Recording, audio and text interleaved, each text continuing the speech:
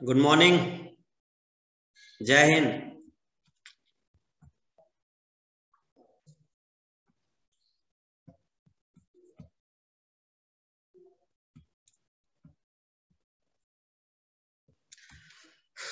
तो हम लोग पढ़ रहे हैं आपका मॉडर्न हिस्ट्री में यूरोपीय कंपनियों का आगमन, है ना? तो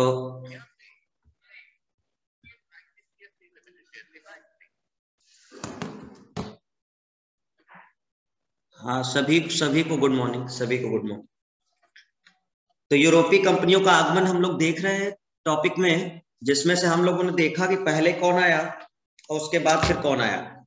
तो सबसे पहले कौन आए? पुर्तगाली आए। फिर कौन आए? डच। फिर कौन आए? ब्रिटिश। फिर डेनिस और फिर लास्ट में आए फ्रांसीसी। मेन पावर हम लोग देखेंगे जो होगा वो अंग्रेज़ और फ्रांसीसियों के बीच होगा। इसके पहले पुर्तगालियों के कुछ गवर्नर बनकर आए, वो सब आपने पढ़ लिए, तीन गवर्नर आए थे। मेन जो हमने पढ़ा है। और फिर उसके बाद हम लोगों ने फ्रांसीसियों के बारे में देखा। सोलह में कंपनी बनी, सोलह में पहुँचे और सोलह में उन्होंने पहली फैक्ट्री डाल दी। लेकिन जैसे ही फ्रांसीसी आ रहे हैं यहाँ पर तो दो जो हैं, अंग्रेज़ और फ्रांसीसी, इनके बीच युद्ध होंगे। क्योंकि पुर्तगाली और डच, आपको बताया था वो तो बाहर हो गए रेस से। पुर्तगाली और रेस से बाहर हो गए, डच भी हो गए। तो बचे आपके कौन? फ्रांसीसी और अंग्रेज़। और इन्हीं के बीच फिर एक युद्ध होता है, जिसको बोलते हैं कर्नाटिक वार। कर्नाटिक रीजन हमने दिखाया था आपको कल कल की क्लास में सब हो चुका था। आई होप कि आपने रिवाइज कर लिया होगा जो नोट्स थे। तो आपको हमने बताया था कि कर्नाटिक रीजन कौन सा था। हमने आपको क्लियर किया था सब। ठीक है? कि ये वाला जो रीजन था वो कर्नाटिक रीजन था और यहीं पर पूरा युद्ध चलता है। कर्नाटक का प्रथम युद्ध आपने देख लिया कि उसमें उत्तराधिकार का मेन था। 1740 में ऑस्ट्रिया में उत्तराधिकार का लड़ाई चल रही थी। और ये न्यूज़ जब भारत पहुँची तो यहाँ भी युद्ध छिड़ गया था। 1746 और अंग्रेज़ों ने पुर्तगालियों के जहाजों को डुबो दिया और उनको पकड़ लिया था। जिसकी वजह से जो डुप्ले था, वो थोड़ा सा नाराज़ हुआ और उसने मॉरिशस के गवर्नर ला बोर्डोनो की मदद से मद्रास पे कब्जा कर लिया था। लेकिन मद्रास में उस समय नवाब कौन था? अनवरुद्दीन। तो अनवरुद्दीन से मदद मांगी गई, बट इसने अंग्रेज़ों की मदद नहीं की थी, क्योंकि डोपले ने अपनी तरफ़ मिला लिया था। और फिर डोपले ने उसको रिश्वत देने की कोशिश की कि मैं जीतने के बाद तुम्हें मद्रास दे दूँगा, लेकिन जब उसने नहीं दिया तो अनवरुद्दीन ने सेना भेज दी थी। और अडियार नदी के किनारे युद्ध हुआ था फिर, जिसको सेंट थोम का युद्ध या अडियार का युद्ध कहते हैं। क्लियर है? जिसमें अनवरुद्दीन की बहुत बुरी तरह से हार हुई थी। फिर उसके बाद जैसे ही वहाँ पर युद्ध खत्म होता है, ऑस्ट्रिया में जैसे ही वार वहाँ पे खत्म होता है तो यहाँ भी वार खत्म हो जाता है। कौन सी संधि हुई थी? एक्सला सापेल तो एक्सला सापेल से प्रथम कर्नाटिक वार खत्म हो गया। क्लियर और जिसके तहत लुइसबर्ग जो था, वो फ्रांसीसियों को मिल गया और मद्रास अंग्रेज़ों को वापस मिल गया। तो ये हम लोग बात कर रहे थे फ़र्स्ट कर्नाटिक वार की। अब दूसरा कर्नाटिक वार होगा। सेकेंड कर्नाटिक वार होगा। और उसी रीजन में। अब हम देखेंगे कि वो कैसे होता है। और क्या रीजन है उसके? सेकेंड कर्नाटिक वार के होने के। ठीक है? ये बहुत सारे लोग वीडियो ऑफ़ कर रखे हैं भाई, क्या है? ऐसा क्या हो गया अचानक से?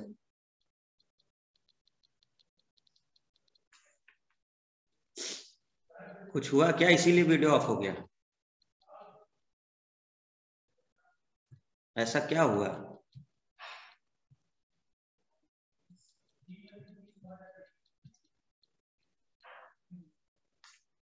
अच्छा तुम लोग को बाहर निकालना बंद कर दिए, इसलिए ऑफ़ होने लगा क्या?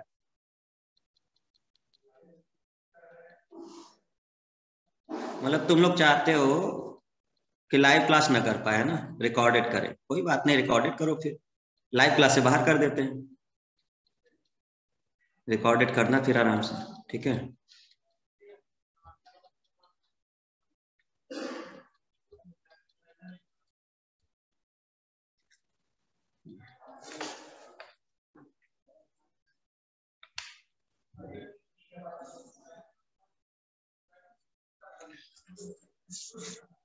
चलिए स्टूडेंट्स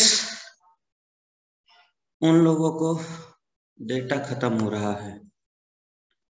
हाँ तो डेटा सबका खत्म हो रहा है, केवल उन्हीं लोग का थोड़ा हो रहा है, अलग से थोड़ा आए हैं वो लोग, हैं? एक्सक्यूज तुम लोग के पास बहुत रहते हैं बस एक बार बस कर दो, उसके बाद तो हम्म। हम लोग बात करेंगे सेकेंड कर्नाटिक वार की। अब हम लोग शुरू करने वाले हैं सेकेंड कर्नाटिक वार पहला वाला कंप्लीट हो गया, दूसरा वाला.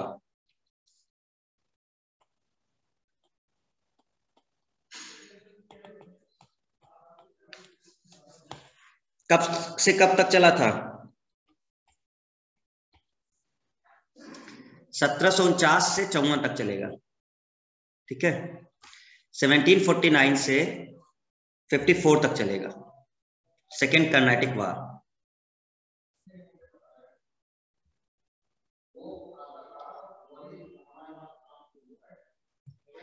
चलिए, पीछे का हम कुछ बैकग्राउंड बता दें आपको इसका, जिससे पूरी कहानी क्लियर हो। देखो, ये भी एक उत्तराधिकार की लड़ाई है, लेकिन जो पहला वाला था कर्नाटिक वार वो उत्तराधिकार की लड़ाई ऑस्ट्रिया की वजह से, वो ऑस्ट्रिया में चल रहा था। ये जो दूसरा कर्नाटक युद्ध होता है, ये चलता है भारत में। भारत में उत्तराधिकार की लड़ाई होगी। और एक्चुअल में भारत में जो युद्ध होगा, वो निजामों की वजह से होगा। मतलब अगर हम इसको ऐसे समझें, मैं भी समझाता हूँ इसको आपको।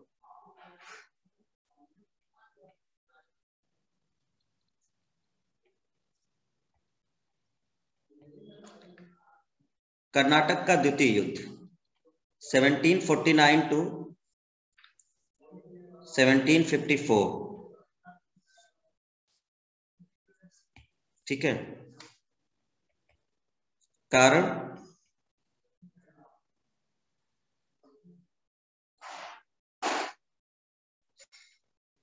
उत्तराधिकार संकट। कहाँ पर? हैदराबाद में और कर्नाटक में।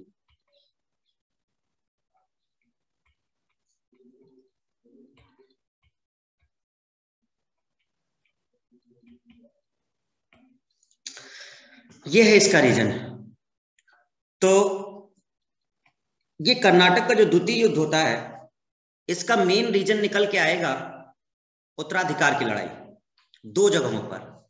एक हैदराबाद में निज़ाम को लेकर होगा, यहाँ गद्दी पर दिक्कत आएगी, और दूसरी दिक्कत आएगी कर्नाटक में, जो कर्नाटिक रीजन है। इन दो जगहों पर उत्तराधिकार को लेकर दिक्कतें आएँगी, जिसकी वजह से ऐसा होगा। ठीक है? तो हम लोग समझने की इसको कोशिश करेंगे। ओके? थोड़ा सा क्लियर रहिएगा सब लोग।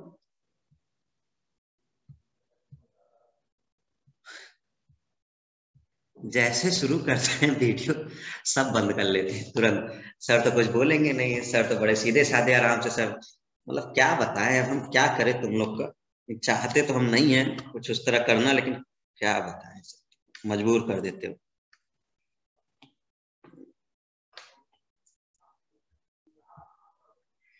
तो जो कर्नाटक में बनेंगे, उनको नवाब कहा जाता है। ध्यान रखिएगा। कर्नाटक में जो शासक बनेंगे, उनको नवाब बोलेंगे। और हैदराबाद में जो बैठेंगे, उसे निज़ाम कहेंगे। हैदराबाद में जो बैठेंगे, उसे निज़ाम कहेंगे। तो यहाँ के जो शासक होते हैं, उन्हें निज़ाम कहा जाता है और कर्नाटक में जो रहते हैं, नवाब। अब हम इसकी कहानी समझाते हैं। ठीक है?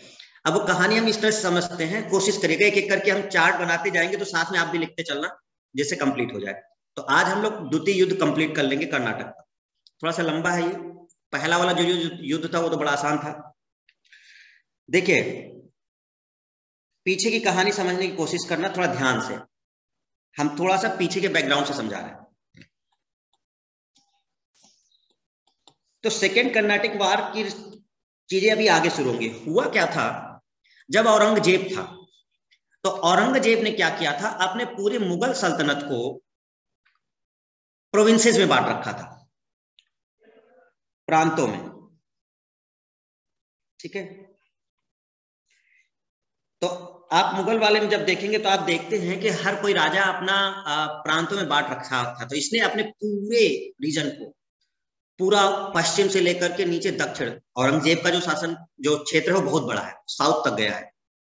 पूरब भी जीता है उसने। तो भारत का लगभग लगभग उसने पूरा एरिया जीत लिया है। ठीक है? तो ये पूरा रीजन नीचे तक थोड़ा सा रह गया था। बाकी इसके अलावा उसने सब जीत लिया था। ऊपर का पूरा रीजन जीत लिया था। जो औरंगज़ेब के अधिकार में था। नीचे का कुछ रीजन छूट गया था बस साउथ का, एकदम। बाकी सब उसके अधिकार में था। तो औरंगज़ेब ने क्या किया था? कई प्रोविंसेस में बांट रखा था। प्रांतों में बांट रखा था। इन प्रांतों को सब प्रोविंस में बांट रखा था। उप प्रांत इनको बांट रखा था उप प्रांत में। ठीक है? यानी जो औरंगज़ेब का साम्राज्य था, उसने बांटा था उसको प्रांतों में और प्रांतों को उसने बांटा था सूबा में। सूबों को ही कहते थे वो प्रांत तो हमने समझा कि पूरा भारत लगभग मान लो सोलह प्रांतों में बांट दिया। एग्ज़ाम्पल दे रहे सोलह प्रांत में बांट दिया। और हर प्रांत में मतलब कुछ, ये ऐसे समझो, जैसे भारत है। भारत में 28 राज्य हैं। तो भारत पूरा देश है। ये एक साम्राज्य है। इसको हमने 28 प्रांतों में बांट दिया है। अब हर राज्य में कुछ ज़िले हैं। तो वो जो ज़िले हैं, जैसे यूपी है, अब यूपी में कुछ ज़िले होंगे। तो उस यूपी को हमने सूबों में बांट दिया।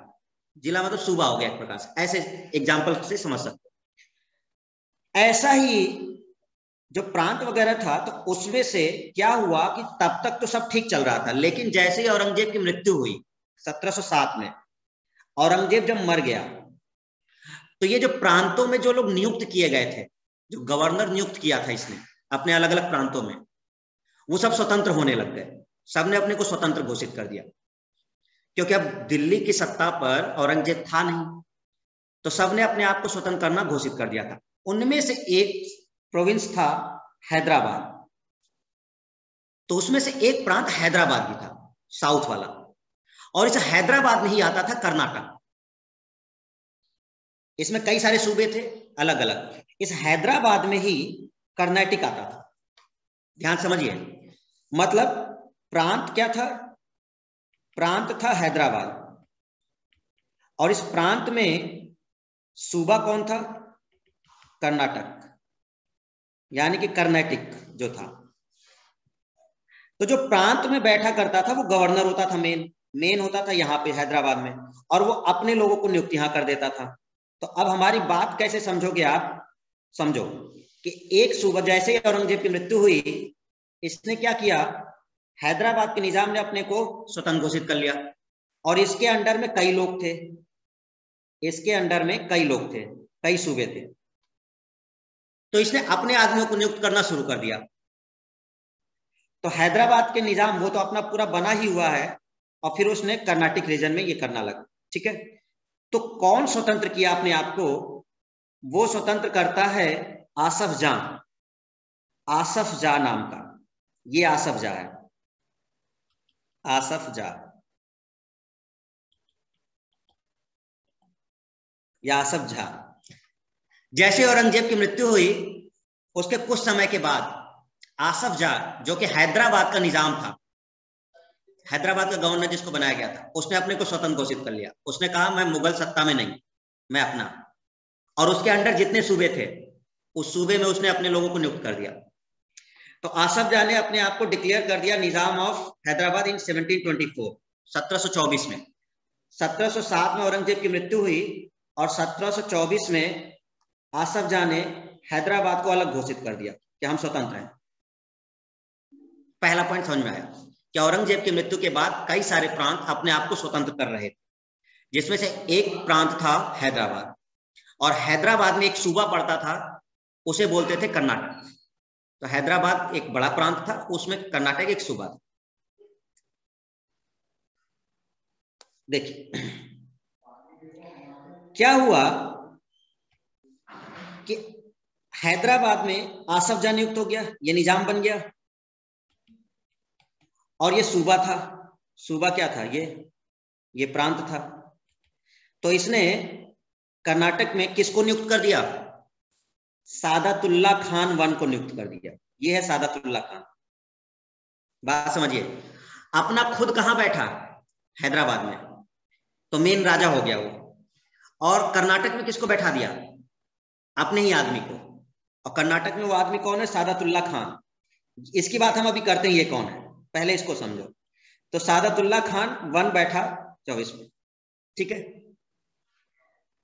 लेकिन क्योंकि सादतुल्ला खान का कोई बेटा नहीं था कर्नाटक की बात कर रहे हैं, याद थोड़ा ध्यान समझो, क्योंकि हम लोग कर्नाटक युद्ध की बात करेंगे। तो इसका कोई बेटा नहीं था सादतुल्ला खां का। तो गुलाम अली, बहुत अच्छा मित्र है इसका, भाई भी है, मित्र भी है। तो गुलाम अली का ये बेटा है, गुलाम अली का पुत्र है ये ये। गुलाम अली का पुत्र है। कौन है ये? दोस्त अली है। समझिए हैदराबाद में कौन बैठा? निज़ाम बैठ गया। कौन निज़ाम बैठा? आसफ जामन पूरा नाम हम बता देंगे। आसफ जामन निजामुल मुल्क। इसका पूरा नाम है। अभी हम चार्ट में क्लियर कर देंगे। तो आसफ जा निजामुल मुल्क हैदराबाद में बैठा और कर्नाटक में किसको बैठा दिया? सादतुल्ला खां को। लेकिन कुछ समय तक ये रहा, लेकिन क्योंकि ये जान रहा था कि मेरा कोई बेटा नहीं है तो मेरे बाद संभालेगा कौन? तो गुलाम अली जो बहुत अच्छा मित्र भी है इसका, इसके बेटा, इसका बेटा जो है ना दोस्त अली, इसने कहा कि मेरे बाद गद्दी दोस्त अली संभालेगा। मेरे बाद गद्दी कौन संभालेगा? दोस्त अली। हेलो ठीक। तो आसफ जहाँ यहाँ रहा, सादतुल्ला खां ये रहा, और जैसे ये मरा, सादतुल्ला खां मर। गद्दी किसको मिली? दोस्त अली को मिली। कहानी अब यहीं से शुरू होती है। अभी तक पीछे का बैकग्राउंड चल रहा था। कहानी अब यहाँ से शुरू होगी, दोस्त अली से। तो हम ये समझाना चाह रहे थे कि दोस्त अली है कौन? क्लियर है? तो अब आप समझिए, हम लोग जो चीज़ समझ रहे हैं तो हैदराबाद में जो निज़ाम बैठा है, वो निज़ाम कौन बैठा? आसफ जा निजामुल मुल्क।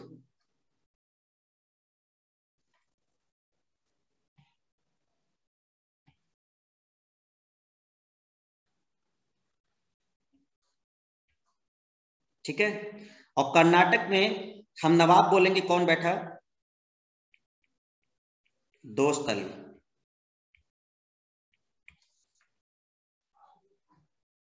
कहानी समझते जाइए।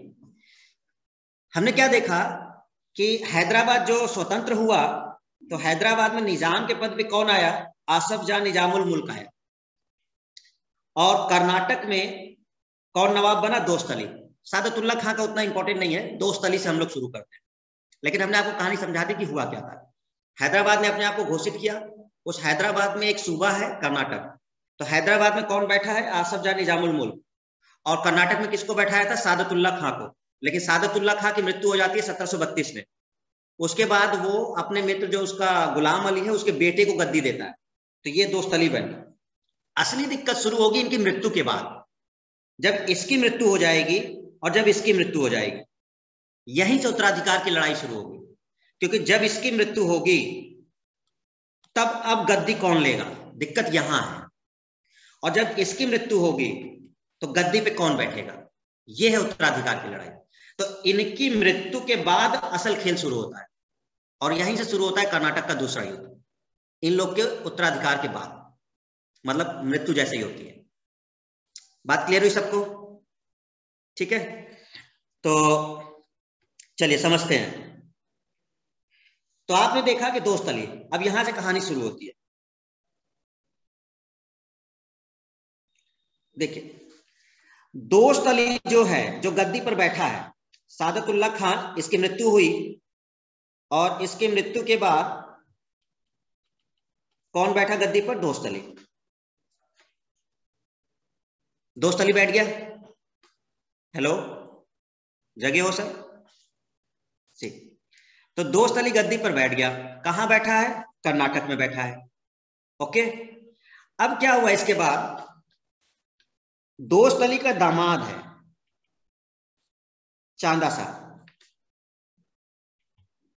दोस्त अली का दामाद है चांदा साहब ध्यान रखिएगा। और ये है इसका पुत्र। ठीक है? और इसका पुत्र है ये।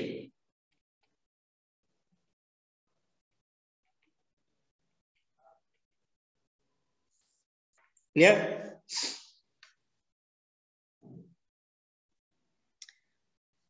आप समझिए जरा। ये भाई साहब तो चले गए, निपट गए, लेकिन इन्होंने गद्दी दे दी इसको, दोस्त अली को।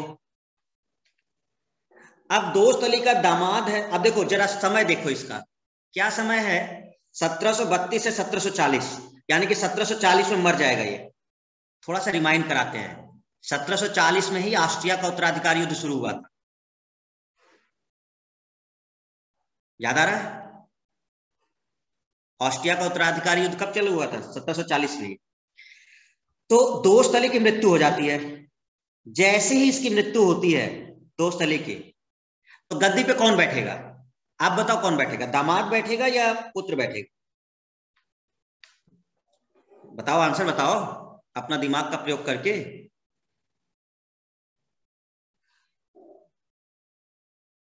पुत्र बैठेगा। ठीक बट यही चीज़ तो गड़बड़ होती है। यही तो सब दिक्कतें हैं। तो गद्दी मिलती है सफदर अली खान को। लेकिन आप जरा देखिए समय काल इसका 1740 से 1742 मार दिया जाता है इसको। वही हाल गद्दी चाहिए। ज़्यादा दिन ये जी, जी ही नहीं पाता। दो ही साल में इसको मार दिया जाता है। अब इसको मार दिया जाता है तो अब पुत्र तो बाद में आएगा ना। अब इसके बराबर में कौन है? चांदा साहब है।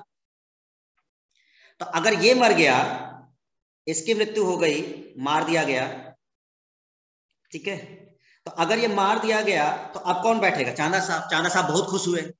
क्यों खुश हुए? वाह, अब तो गद्दी मुझे मिलेगी। बट यही नहीं हुआ। चांदा साहब सोच रहे थे कि गद्दी हमें मिलेगी। बट इससे पहले ही मराठे इनको उठा के ले गए, चांदा साहब को। ठीक है? तो जैसे ही ये सफदर अली खान मरा और ये सोचे कि हम गद्दी लेंगे बट मराठों ने आक्रमण किया और चांदा साहब को उठा के लेके चले। अब दिक्कत आई कि भैया, अब गद्दी कैसे खाली रहे? क्योंकि दोस्त अली का पुत्र मर चुका है, चांदा साहब है नहीं, क्योंकि चांदा साहब को मराठे ले गए हैं। तो अब इसका एक छोटा पुत्र है, बहुत छोटा है अभी, बड़ा नहीं। क्लियर है? किसका पुत्र? सफदर अली खान को। तो कहा गया भाई इसी को बैठा दो। इसी को बैठा तो ये सादतुल्ला खान द्वितीय के नाम से बैठेगा। सादतुल्ला खां द्वितीय के नाम से बैठेगा ये। लेकिन ये बहुत छोटा है। अब अगर ये बहुत छोटा है तो इसके देखरेख के लिए कोई बैठेगा? बैठेगा कि नहीं बैठेगा? बैठेगा ना? हेलो? तो कोई ना कोई तो बैठेगा। वही व्यक्ति है अनवरुद्दीन, जिसको आपने फ़र्स्ट कर्नाटिक वार में पढ़ा है। इसकी देख रेख के लिए ही अनवरुद्दीन को बैठाया गया था। सादतुल्ला खां बहुत छोटा था। इस वजह से अनवरुद्दीन को कहा गया, इनको देख लो, चांदा साहब जेल में है भाई। मराठे उठा के ले गए हैं। तो मराठे उठा के ले गए तो ये जेल में बंद है। बेचारे सोच रहे हैं कि कहाँ जाए। ठीक है? और उसी समय क्या हुआ कि ये रहा अनवरुद्दीन ये है अनवरुद्दीन।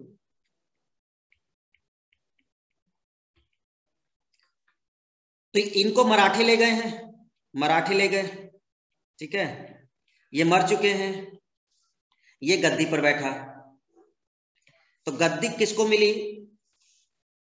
गद्दी मिली सादतुल्ला खां को। लेकिन इसका संरक्षक कौन बनाया? ये संरक्षक हो गया। संरक्षक कौन? अनवरुद्दीन। ठीक है? संरक्षक कौन? अनवरुद्दीन।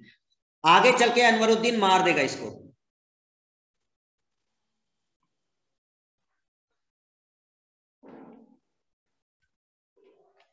मार दिया। किसको?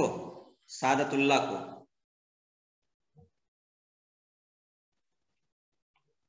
निपटा दिया। इसलिए फाइनली कर्नाटक का नवाब बनता है अनवरुद्दीन, जिसकी कहानी हमने पहले वाले में बताई थी। हेलो समझ आ गई? तो अनवरुद्दीन इस तरह से गद्दी पर बैठता है। ठीक है? चलिए। चार्ट समझते हैं आप। अभी हम बात कर रहे हैं कर्नाटक वाली। तो यहाँ पर दो स्थली की मृत्यु के बाद।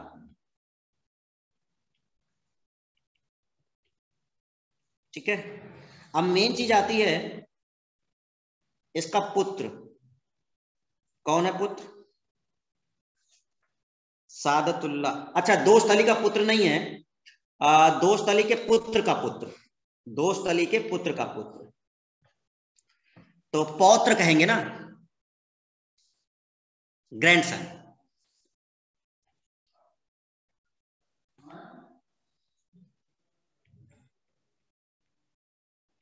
ग्रैंडसन कौन है?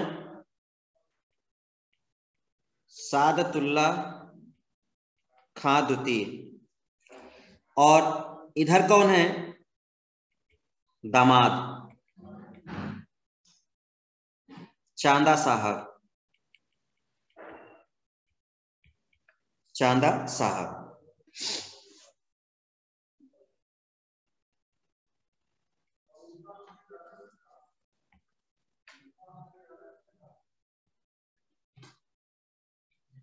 गद्दी मिली।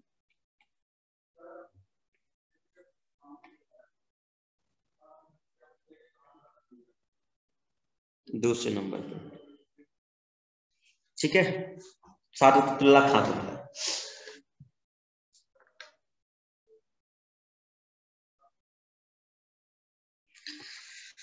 क्या ये चार्ट क्लियर हो गया? अरे क्यों मार दिया? क्योंकि गद्दी चाहिए थी और क्यों मारेगा? भाई गद्दी के लिए तो मारेगा। तो दोस्त अली जो है, उसके मृत्यु के बाद बीच का एक पॉइंट गायब कर दिया हमने। वो जो बीच में बैठा तो कुछ दो साल रहता है, वो मर जाता है जो। ठीक है ना? तो सीधे हम ग्रैंडसन की बात कर रहे हैं, जो ग्रैंडसन जिसको गद्दी मिलेगी। ठीक है? तो सादतुल्ला खान, जो उसका ग्रैंडसन है, वो बैठा। देखिए जरा। हमने आपको क्या समझाया? दोस्त अली की मृत्यु हुई और इसके बाद सफदर अली खान, लेकिन इसकी बात नहीं कर रहे, कोई इंपॉर्टेंट नहीं है। हम सीधे इसके ग्रैंडसन की बात कर रहे हैं। गद्दी किसको मिली? सादतुल्ला खां को मिली। ठीक है? और चांदा साहब को मराठे उठा ले गए। तो इस तरह से हम लोगों ने देखा कि गद्दी के दावेदार दो लोग थे। इनका दामाद भी था, लेकिन ये गद्दी नहीं मिली, क्योंकि इनको मराठे ले गए थे। और सादतुल्ला खां ये गद्दी बैठा। लेकिन इसका संरक्षक कौन नियुक्त हुआ? अनवरुद्दीन। और अनवरुद्दीन ने सादतुल्ला खां को मरवा दिया। मरवा दिया? ठीक है। तो इसके बाद आगे की कहानी समझते हैं। तो अनवरुद्दीन ने मार दिया सादतुल्ला दो को। ओके। और कर्नाटक का नवाब कौन बन गया?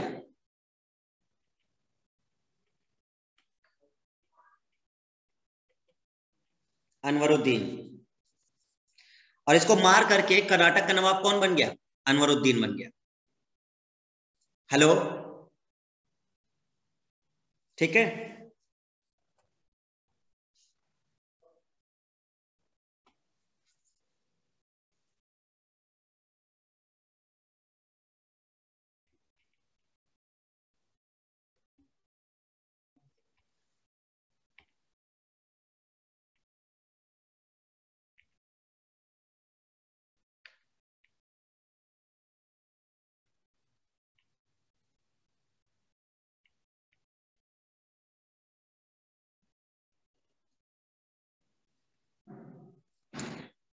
तो हम देखते हैं कि दोस्त अली था और फिर सादतुल्ला खां और उसको मार करके अनवरुद्दीन गद्दी ले लेता है। ठीक है? चांदा साहब कहाँ है? चांदा साहब कहाँ है? मराठे के पास? चांदा साहब मराठी के पास है। ठीक। अनवरुद्दीन गद्दी पर बैठा और अब ये नवाब बन गया है। ठीक है। चांदा साहब को छोड़ दिया गया। तो चांदा साहब को छोड़ा गया। जैसे ये पहुँचे वहाँ, देखो सारे करेक्टर इंग्लिश बोलते हैं, पता है? सारे करेक्टर इंग्लिश बोलते हैं। तुम ही लोगों कुछ ना बोल पाते। है? तो क्या हुआ कि चांदा साहब जैसे जेल से छूटे तो Chanda Sahib got release from prison he got to know that Anwaruddin is now the Nawab of Carnatic. उसको पता चला, अरे, कर्नाटक का नवाब तो कौन बन गया है? अनवरुद्दीन बन गया है, गद्दी तो मुझे मिलनी चाहिए थी। इसको कैसे बैठा दिया गया? चांदा साहब, परेशान, बाहर आए। इन्होंने कहा, हमको गद्दी चाहिए। अब गद्दी मिलेगी कैसे इसे? क्योंकि लड़ाई लड़नी पड़ेगी, और अचानक से जेल से आया तो सेना होना तो है नहीं इसके पास। किसके पास पहुँच गया? डोपले के पास। तो चांदा साहब पहुँचे डोपले के पास। साहब, गद्दी दिलवाओ वापस। ये गद्दी हमारी है कर्नाटक डोपले कहता है वेरी गुड अभी देते हैं। चलो, शुरू करते हैं। तो यहाँ पर अभी हम लोग देखेंगे, अभी युद्ध नहीं। अभी केवल हम लोग ये देखेंगे कि सपोर्ट देख रहे हैं। तो अब अगर हम आपको एक पॉइंट बताएँ, इस अपने चार्ट में तो चांदा साहब को सपोर्ट किसका मिल गया?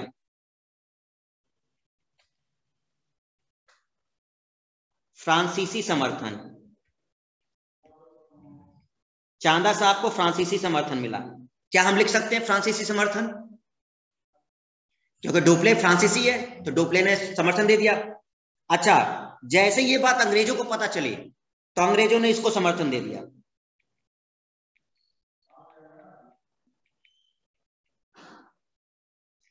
अंग्रेज़ क्या सोचते थे? अगर डुप्ले कहीं जीत गया तो फिर हमारा पत्ता तो कट जाएगा। तो हमें किसी को तो सपोर्ट करना पड़ेगा। तो अंग्रेज़ों ने सपोर्ट कर दिया किसको? अनवरुद्दीन को। इसीलिए आपने फ़र्स्ट कर्नाटिक वार में देखा कि अंग्रेज़ हमेशा अनवरुद्दीन को सपोर्ट कर रहे हैं। क्योंकि यहाँ पर जो चांदा साहब है, इनको सपोर्ट कर दिया था किसने? फ्रांसीसियों ने। हेलो ये चीज़ समझ में आई? यही चल रहा है अब। अब कहीं ना कहीं इस उत्तराधिकार में कौन शामिल हो गया? अब खाली नवाब नहीं शामिल हो गए, अब ये लोग शामिल हो गए। अंग्रेज़ और फ्रांसीसी, इसलिए अब युद्ध होगा, क्योंकि असल में ये कहानी चल रही थी इन लोगों की, लेकिन शामिल कौन हो गया? ये लोग शामिल हो गए। तो इन दोनों के बीच अब युद्ध होगा। ये है मेन रीजन ये है उत्तराधिकार के संकट में। इसी समय क्या हुआ? इधर की कहानी चल रही थी। तब तक आसफ जहाँ की मृत्यु हो गई। सत्रह अड़तालीस में। देखिए, इधर ये कहानी चल रही थी। ये बैठ चुका था गद्दी पर। ये भी रिलीज़ हो चुके थे। लेकिन इसी समय यहाँ की एक कहानी बदल जाती है, हैदराबाद की। हैदराबाद में निजामुल मुल्क की मृत्यु हो जाती है। ठीक? अब इस निजामुल मुल्क का दो लोग हैं, जिनमें दिक्कत आएगी। इसका पुत्र है नासिर जंग।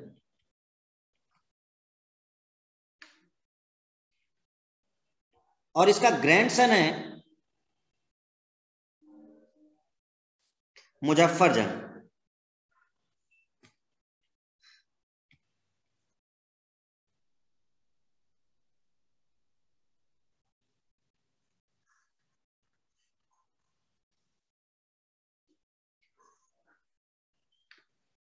ठीक है?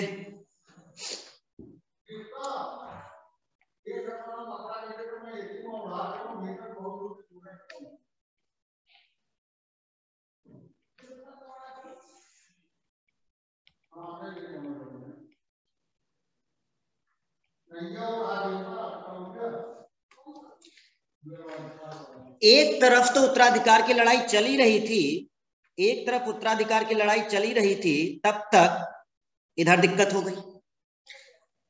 हैदराबाद में भी सीट खाली हो गई। और जैसे यहाँ की सीट खाली हुई तो अब पुत्र है और ग्रैंडसन है। गद्दी किसको मिलेगी? ऑब्वियस बात है, कोशिश तो वही की जाएगी जो पुत्र है। आप लोग बताओ, गद्दी किसको मिली? जल्दी बताओ कमेंट करके। नासिर जंग को मिला या फिर मुजफ्फर जंग को मिला? सन को। ठीक है? नहीं। मुजफ्फर जंग को। इसको गद्दी मिली। इसको गद्दी नहीं दी गई। नासिर जंग को नहीं दिया गया।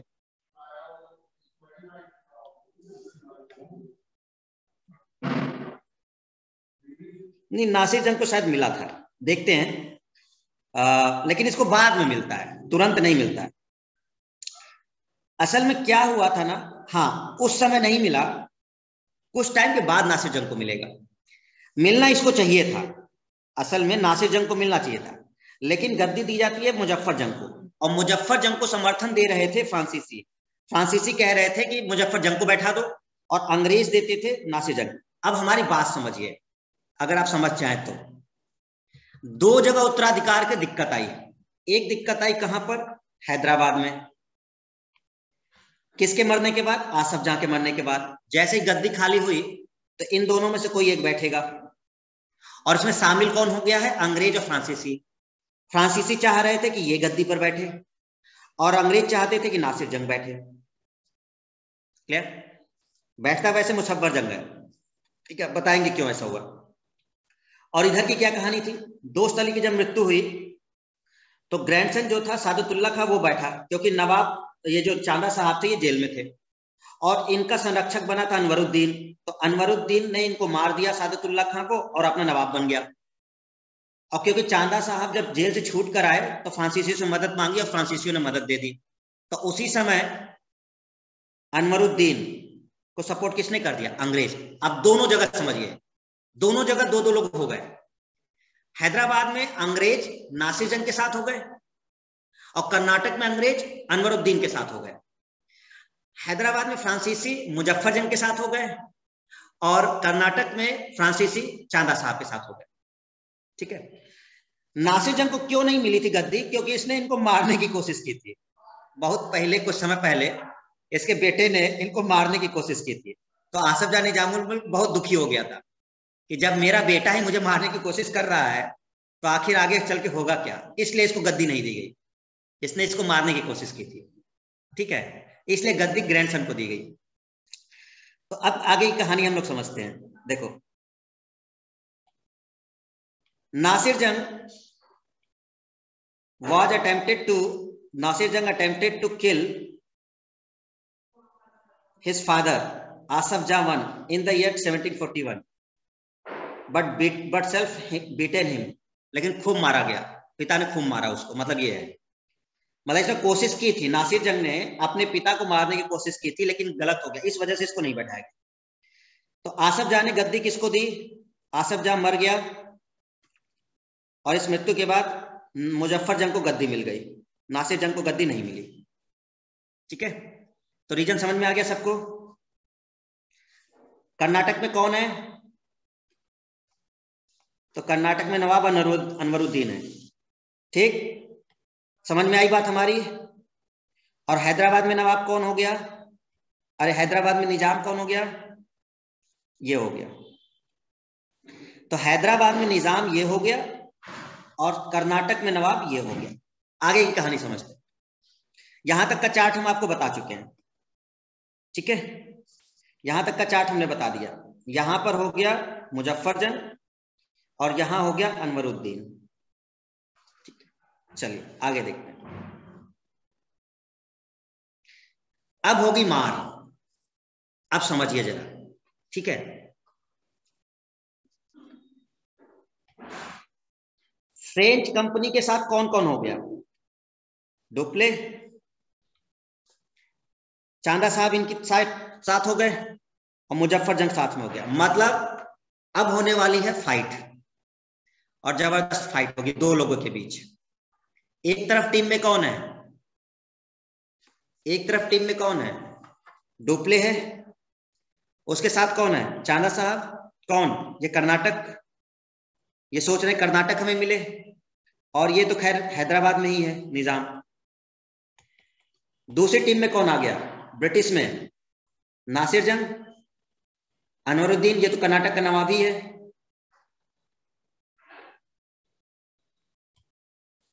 फाइट शुरू। अब स्टार्ट होता है आपका अगला। समझ में आ रहा है कुछ कि नहीं? किस टीम में कौन है? ठीक है? तो ये तीन लोग आपको अच्छे से क्लियर हो गया होगा कि कौन सी टीम में कौन है। चलिए। तो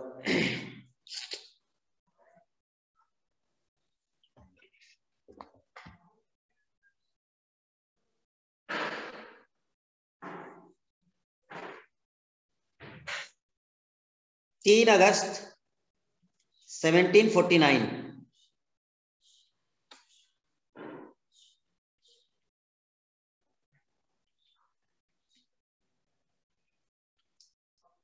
दोनों टीमें आ गई।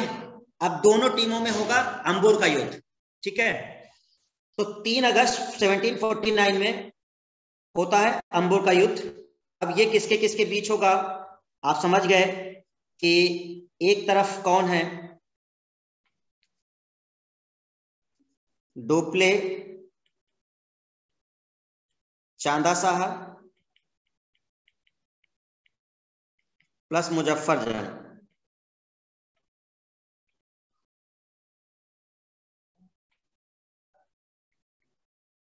versus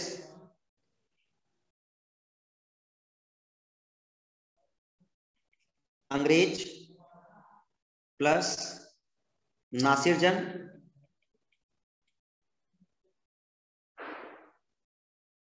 plus Anwaruddin.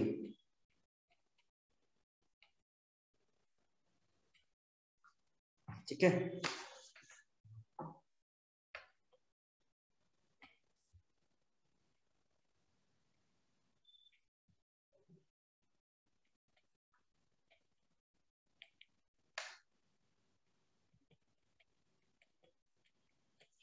अनवरुद्दीन मारा गया।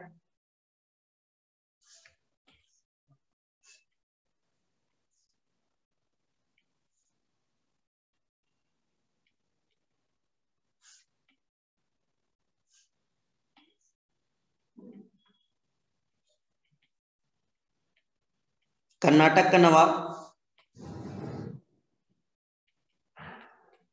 चांदा साहब बन गए।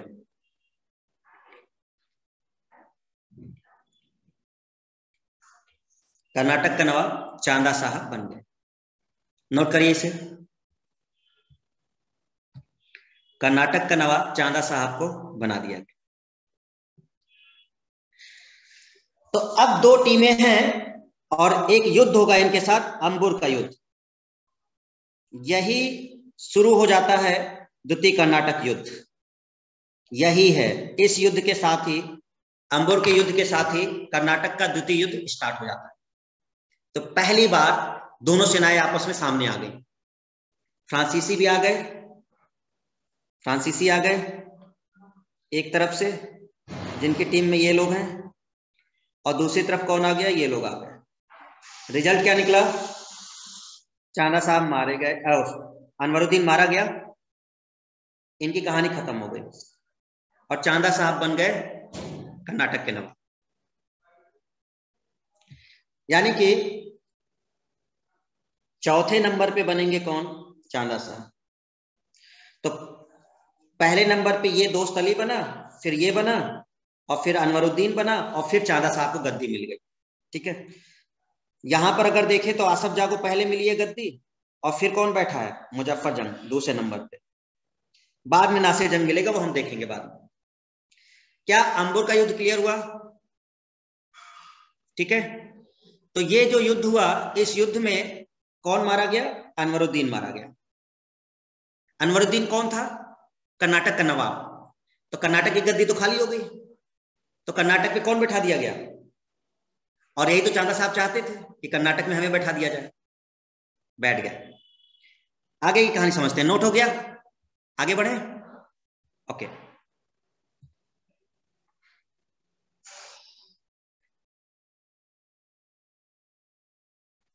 तो तो क्या हुआ कि ये जो फ्रेंच टीम है, ये फ्रेंच टीम ये तीन लोग, ये जो तीन लोग हैं ये इन लोगों ने क्या किया था एक्चुअल में? ये लोग जा रहे थे अर्कॉट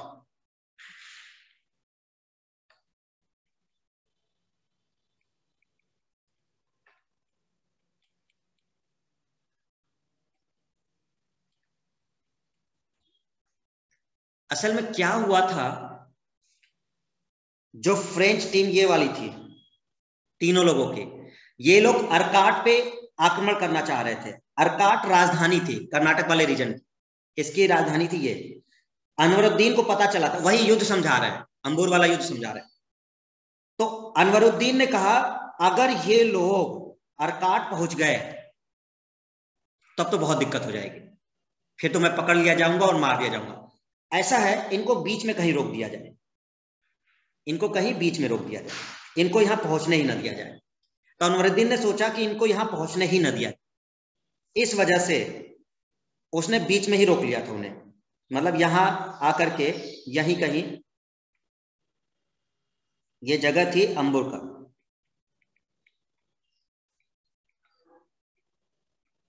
तो यहीं पर युद्ध हो गया था। अरकाट तक के लोग पहुँचे ही नहीं थे। अरकाट से पहले ही अनवरुद्दीन आ गया था यहाँ। लेकिन बहुत बुरी तरह से इसकी हार हुई थी और ये मारा गया था।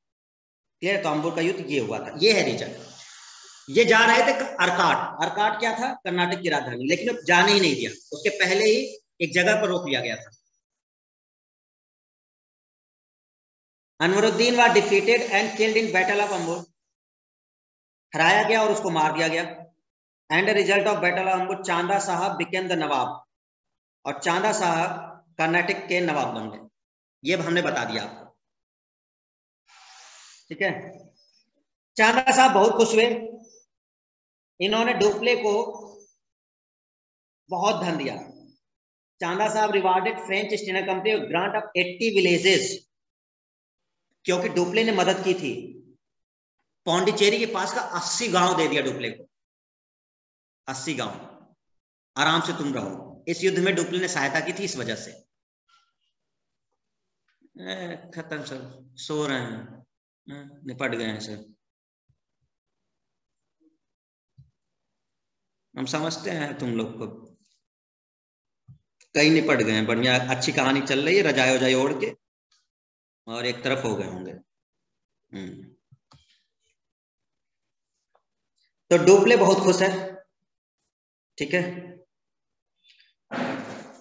अब क्या हुआ? एक तो चला गया यहाँ से। कौन गया? कौन गया? टीम में से कौन चला गया? जल्दी बताओ अगर जग रहे हो तो।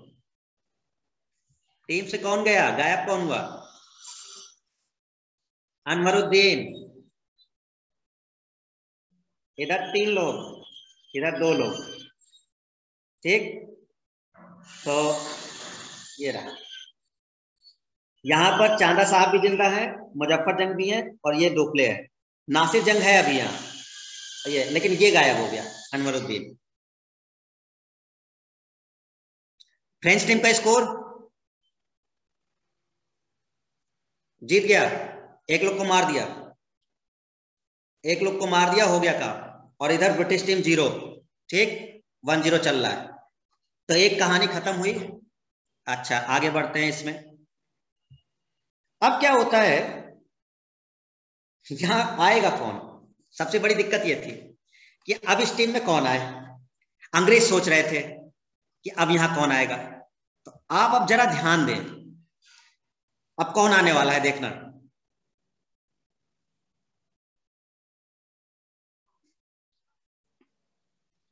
वल्ला झा, एक नए की एंट्री होने वाली है। अब अंग्रेज़ों में एक नया व्यक्ति एंट्री करने वाला है और उसका नाम है वल्लाजा। ठीक है? अंग्रेज़ों ने मिला लिया अपनी तरफ़ उसको। कौन है वल्लाजा? तो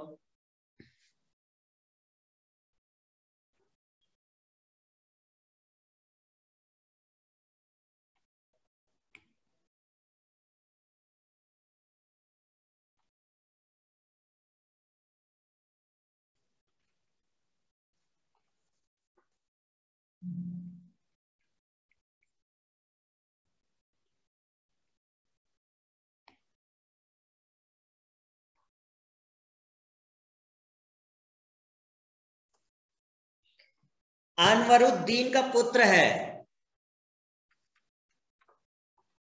ठीक है? तो अनवरुद्दीन मारा जा चुका है। अब है ये, या तो इसको मोहम्मद अली कहो या वल्ला जा। तो ज़्यादातर ये वल्ला जा से फ़ेमस है, वैसे मोहम्मद अली नाम भी आप ले सकते अब क्योंकि अनवरुद्दीन मारा जा चुका है, बाप मारा गया। बाप मारा गया तो इन अंग्रेज़ों ने किसको मिला लिया अपनी तरफ़? मोहम्मद अली को मिला लिया। किसको मिला लिया? मोहम्मद अली को मिला लिया। ठीक है? तो हो गए तीन लोग। टीम बराबर हो गई। ठीक तो वल्लाजा आ गया इनकी टीम में। अनवरुद्दीन की जगह खाली हुई तो उसका बेटा। ये आप लोग हो ये आपकी जनरेशन का है ठीक है? बाल देखो ए, बिल्कुल एकदम हीरो एकदम लग रहा है कहीं से वो एकदम मस्त। तो वल्लाजा गद्दी लेता है ठीक है? अच्छा। इसके बाद जैसे ये टीम आती है ये जब टीम आती है इनके भी दो युद्ध होंगे अब आगे चलकर। देखिए ये युद्ध जो चल रहा था अंबुर वाला जो युद्ध था ये उनचास की बात है। तीन अगस्त 1749 ठीक है? इस समय आपका वो अंबुर वाला युद्ध हुआ था। अब इसके बाद जो है, ये लोग जब आएँगे तो अब युद्ध होगा टू बैटल्स ऑफ़ तिरुवदी दो युद्ध होंगे तिरुवदी के 1750 में। तिरुवदी का युद्ध कहते हैं इसे। ठीक है? क्या बोलते हैं इसको? तिरुवदी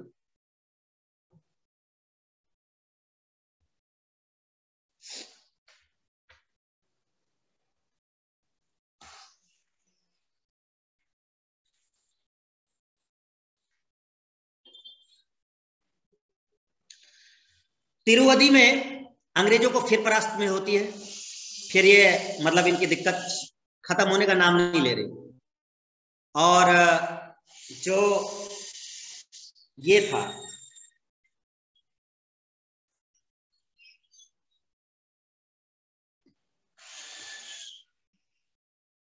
भाग्य चला जाता है। इस, जब ये दो युद्ध होते हैं, तिरुवदी वाले तो ये इस युद्ध में इसी को मारना था मेन इसी को मारना था। वल्ला जा को ही मारना था। क्यों मारना था, आप अगर रीजन बता सके तो। दिक्कत ये है कि अगर इसको नहीं मारेंगे, अगर इसको नहीं मारेंगे आप, किसको? वल्ला जा को नहीं मारेंगे। अगर इसको नहीं मारेंगे तो दिक्कत इनके लिए होगी। क्यों? क्योंकि ये भी कर्नाटक का फिर वो नवाब बनने की कोशिश करेगा, अंग्रेज़ इसको बनाने की कोशिश करेंगे। और ये इसको बनवा चुका है। तो अगर वल्लाजा को नहीं मारा आपने तो हर बार ये इसको मारने की कोशिश करेगा। तो इसलिए ये जो युद्ध होते हैं तिरुवधि वाले दोनों, ये बहुत डिटेल में जानने की ज़रूरत नहीं है। बट ये है कि इस युद्ध में क्या होता है कि अंग्रेज़ की फिर पराजय होती है। और जैसे ही इसमें पराजय होती है तो वल्लाजा भाग जाता है, क्योंकि वल्लाजा जानता है कि मुझे मार दिया जाएगा। तो वल्लाजा जो हीरो था, जाकर किले में छिप जाता है। और उस किले का नाम है जिंजी का किला। तो ये भाग के चला जाता है जिंजी के किले में।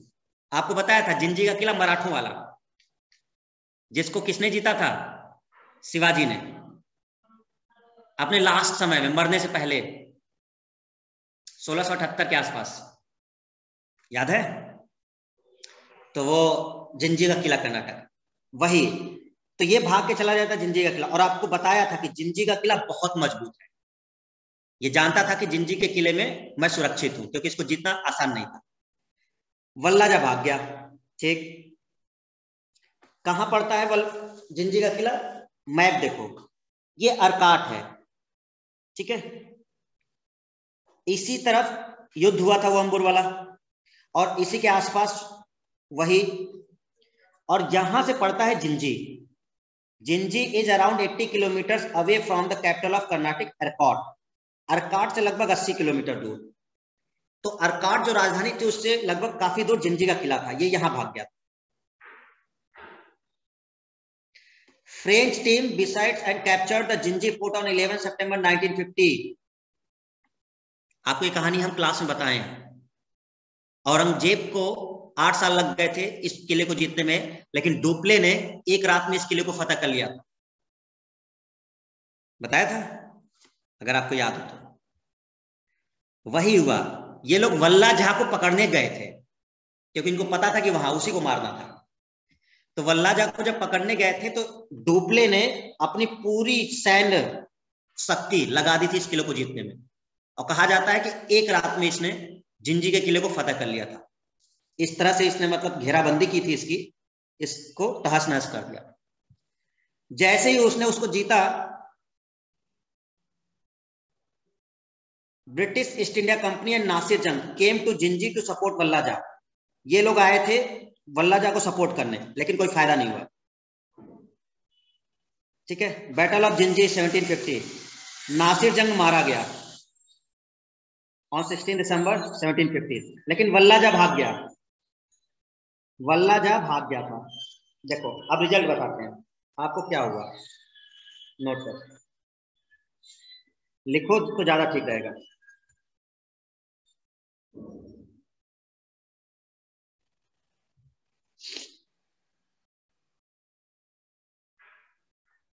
बैटल ऑफ़ जिंजी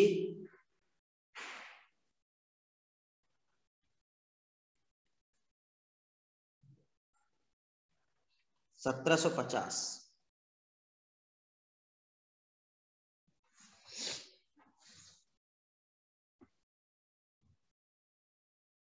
डोपले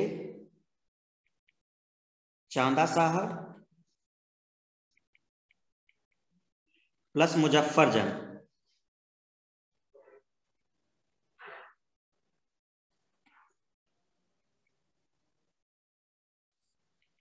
अंग्रेज़ नासिर जंग प्लस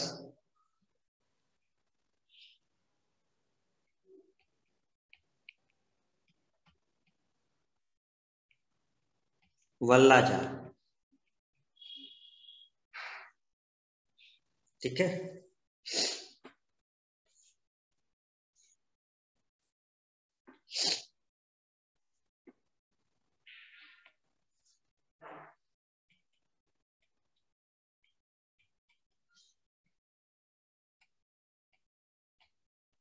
नासिर जंग की हत्या।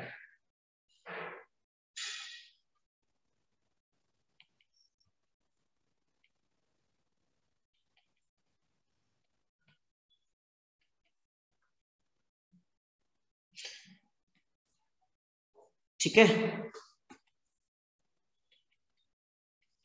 तो नासिर जंग की हो गई हत्या, इसी में।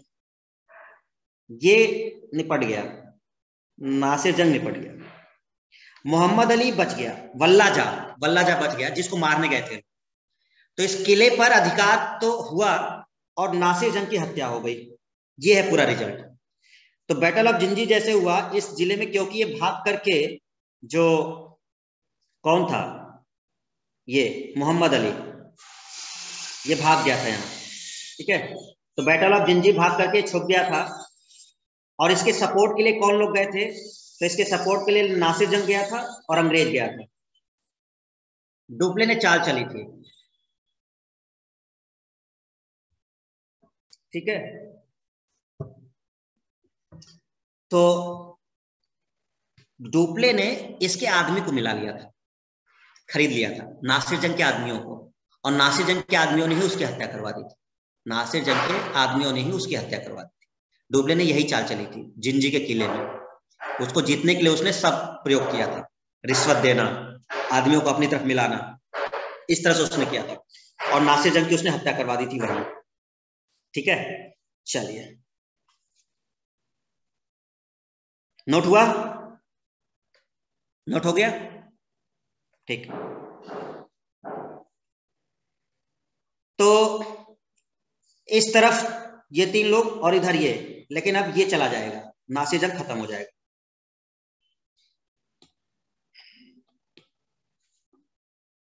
नासिर जंग गया? गायब?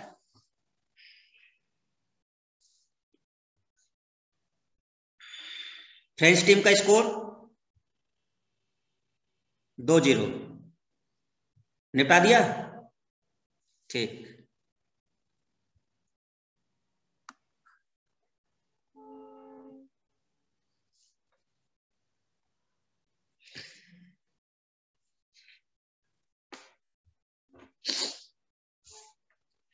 अब देखो, आप ये बताइए कि जो हैदराबाद था, उसमें दो प्रतिद्वंदी थे। हैदराबाद में दो प्रतिद्वंदी थे। कौन कौन नासिर जंग और मुजफ्फर जंग। देखो।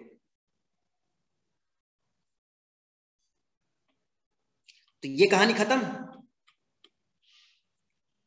फाइनल हो गया कि अब कौन बैठेगा? मतलब फाइनल ये हो गया कि अब पूरा मुजफ्फर जंग ही करेगा।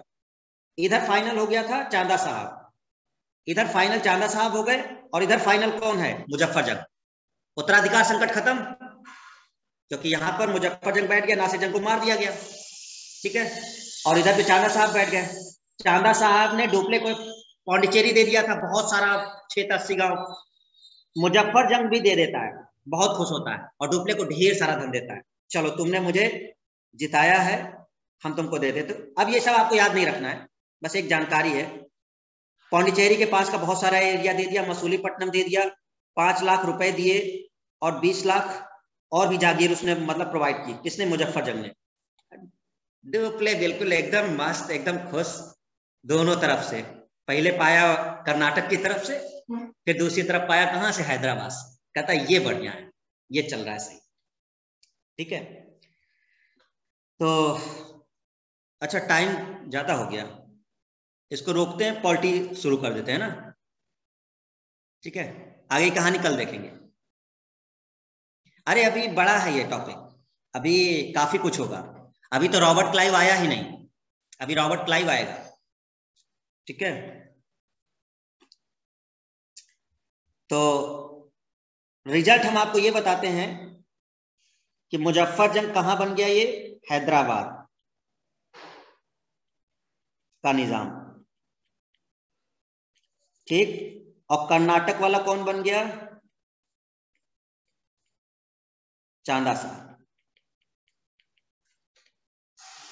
इसलिए दो ज़ीरो है, क्योंकि ये लोग दो हो गए और दो लोग को मार दिया इन्होंने। तो ये कहानी होती है यहाँ पर। आगे चल करके हम लोग दूसरा देखेंगे।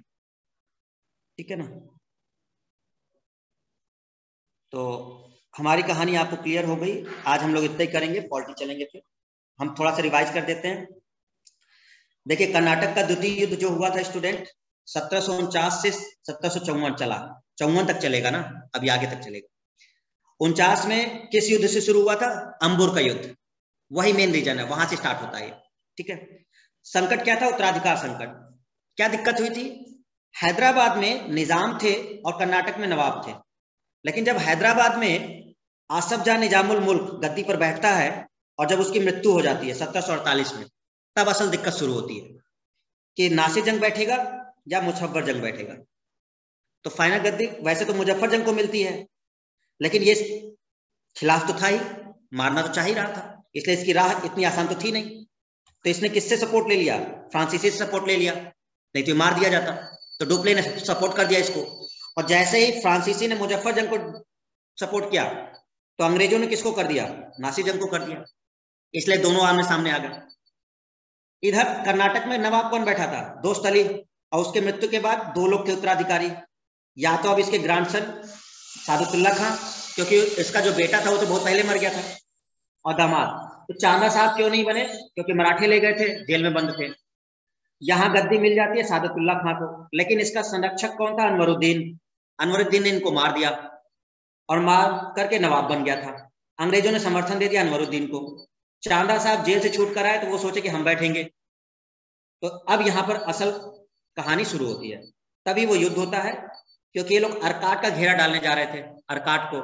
तो अनवरुद्दीन बीच में आकर ही इन लोगों से युद्ध कर लेता है, लेकिन अनवरुद्दीन मारा जाता है। तो कर्नाटक का नवाब कौन होता है? चांदा साहब। फाइनल हो जाता है कि यहाँ की गद्दी किसको मिल जाती है फिर? चांदा साहब। ये तो फाइनल हो गया। इधर अभी भी संशय है, ठीक है? तो इधर क्या होता है? यहाँ से जो इसका बेटा होता है, मोहम्मद अली जो अनवरुद्दीन का बेटा है बल्लाजा अंग्रेज़ इसको सपोर्ट कर देते हैं कि भाई, चांदा साहब के विरुद्ध में हम तुम्हें बैठाएँगे। तो आगे चल करके जो मोहम्मद अली था, वो कहाँ भाग गया था? जिंजी के किले में भाग गया था। तो फ्रांसीसियों ने मिल करके घेर लिया इस जिंजी के किले को। तो सपोर्ट करने कौन पहुँच गया? अंग्रेज़ और नासिर जंग। लेकिन नासिर जंग की क्या हो गई? हत्या हो गई। क्यों हो गई हत्या? क्योंकि मिला लिया था डुप्ले ने। ठीक है? तो ये चीज़ हो गई। तो इस तरह से हम देखते हैं कि यहाँ पर फाइनली इसके बाद क्या होता है? मुजफ्फर जंग हैदराबाद का निज़ाम घोषित। ऑफिशियली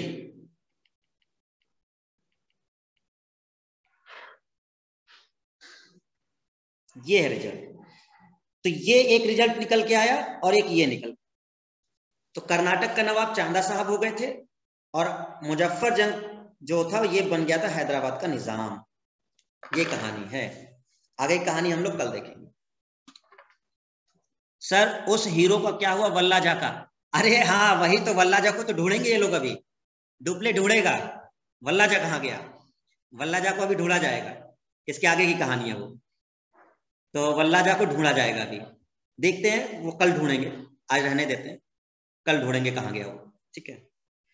तो वल्ला वल्लाजा मिलेगा कुछ समय बाद मिल जाएगा वल्लाजा ठीक है?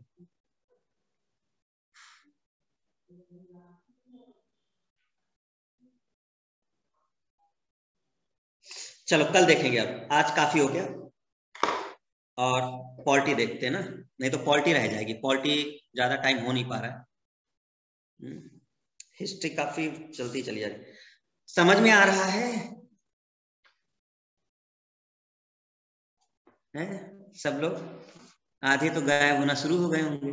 हाँ ठीक है, ओके। पॉल्टी जैसे शुरू होती है, निपट लेते हैं सब।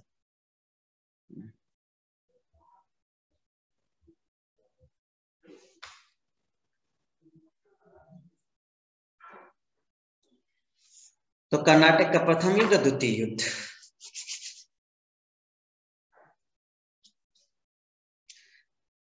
अंग्रेज़ों की पहली कंपनी कहाँ पर बनी थी?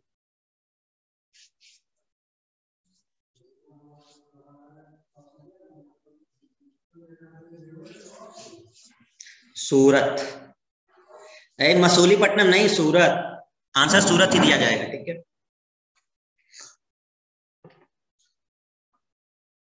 फ्रांसीसियों की पहली कंपनी कहाँ बनी थी? पहली फैक्ट्री। फ्रांसीसियों की पहली फैक्ट्री कहाँ थी?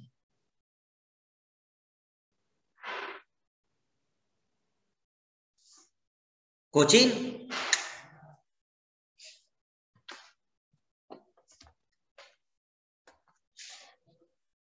कि मसूलीपट्टनम, क्या आंसर है?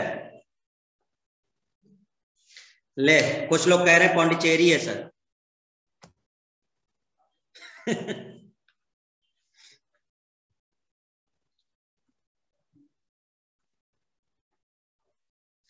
कुछ लोग कह रहे हैं पौंडिचेरी है, सर। कार्तिक सूरत में।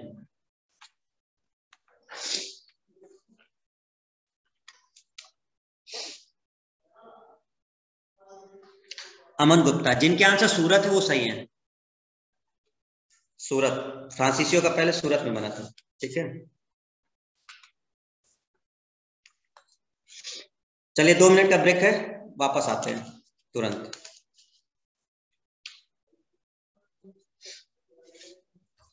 मासूलीपट्टनम में बाद में बना था भाई 1669 में बना था, सोलह में, ठीक है? चलो, दो मिनट ब्रेक तुरंत आकर के पार्टी शुरू करते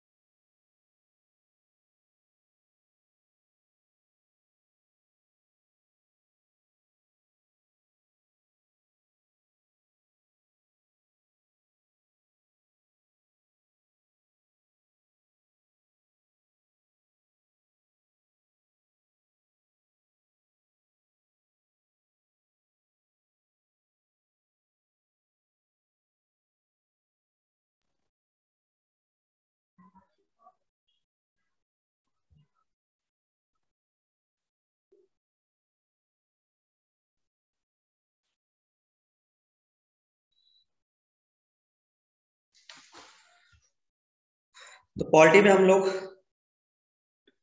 मनी बिल के बारे में बात किए हैं, ठीक है? पिछले क्लास में हम लोगों ने मनी बिल को देखा है। अनुच्छेद 110 में। आज हम लोग का फाइनेंशियल बिल के बारे में बात करना है।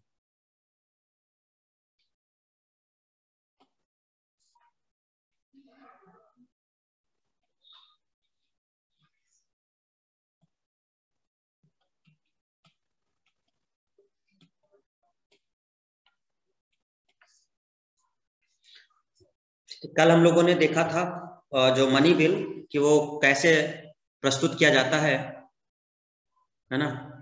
उसके बाद की बातें की थी हम लोगों ने।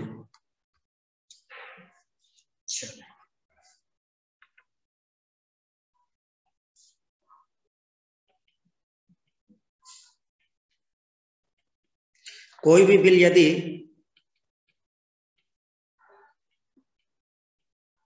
पब्लिक मनी कोई भी बिल यदि पब्लिक मनी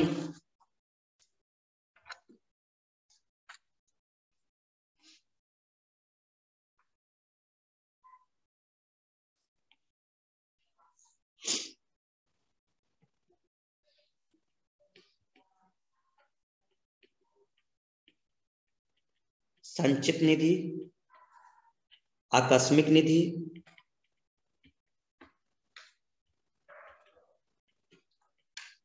या पब्लिक अकाउंट ऑफ़ इंडिया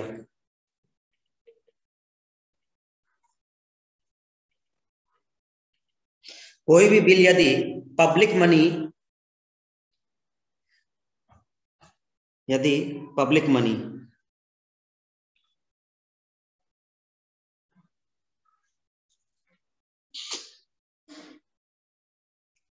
से संबंधित है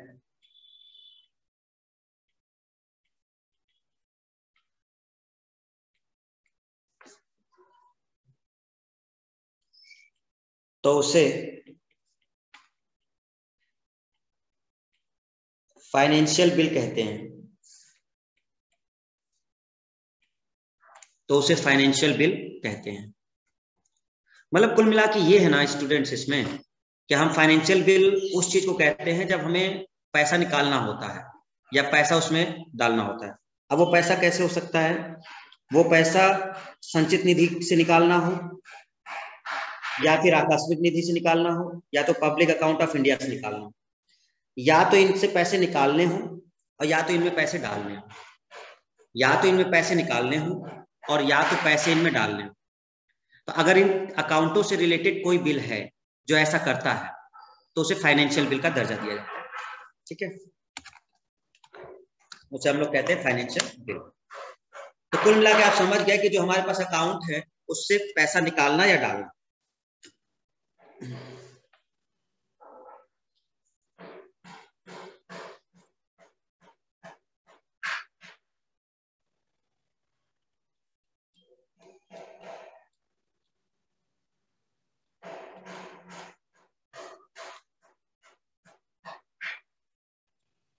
इनसे पैसा निकालना हो या डालना हो?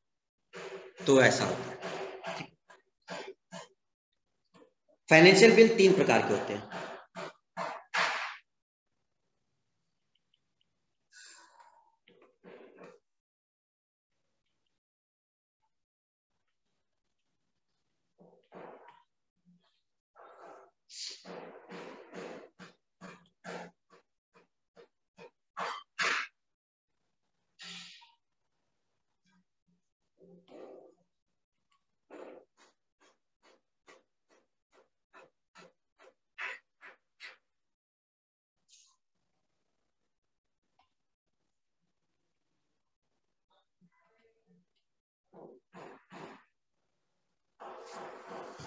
फाइनेंशियल बिल आपका एक है मनी बिल आपको बताया था कि मनी बिल ही मनी बिल एक फाइनेंशियल बिल का ही पार्ट होता है, ठीक है? दूसरा होता है आपका फाइनेंशियल बिल वन और तीसरा होता है फाइनेंशियल बिल टू जो फाइनेंशियल जो मनी बिल है, इसका हम कौन से आर्टिकल में बात करते हैं? 110 में। और फाइनेंशियल बिल वन की बात हम किसमें करते हैं? 117 क्लॉज वन और इसकी बात हम लोग कहाँ करते हैं? 117 क्लॉज थ्री मतलब ये बात होती है इन बिलों की।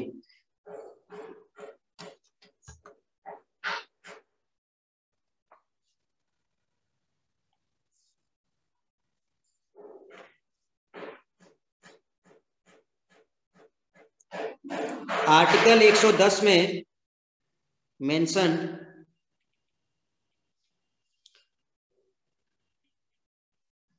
प्रोविजंस प्रावधानों के अलावा यदि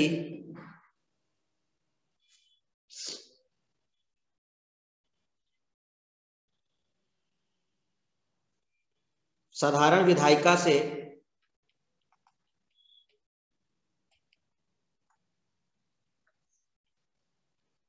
जनरल लेजिस्लेशन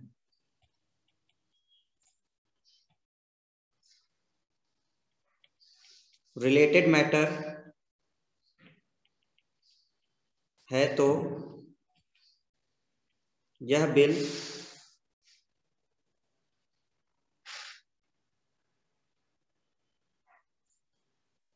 वन बन जाएगा।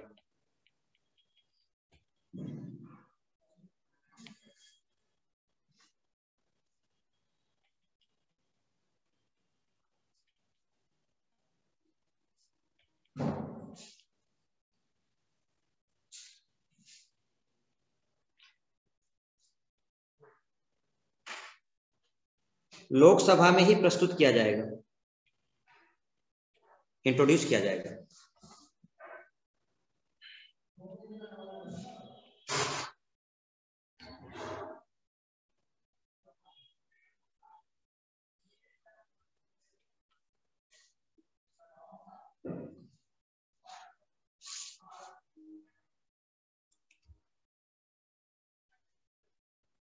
समझिए हम लोगों ने कल क्या देखा था? नोट अगर हो गया हो, हम आपको बताएँ। हम लोग बात कर रहे हैं, मनी बिल की देखो बात हम कल कर चुके हैं, ठीक है? मनी बिल की पिछले क्लास में हमने बात बताई थी आपको। मनी बिल कैसे हो सकता है? सात प्रावधान बताए थे। इनमें से अगर कोई भी प्रावधान है तो वो मनी बिल था।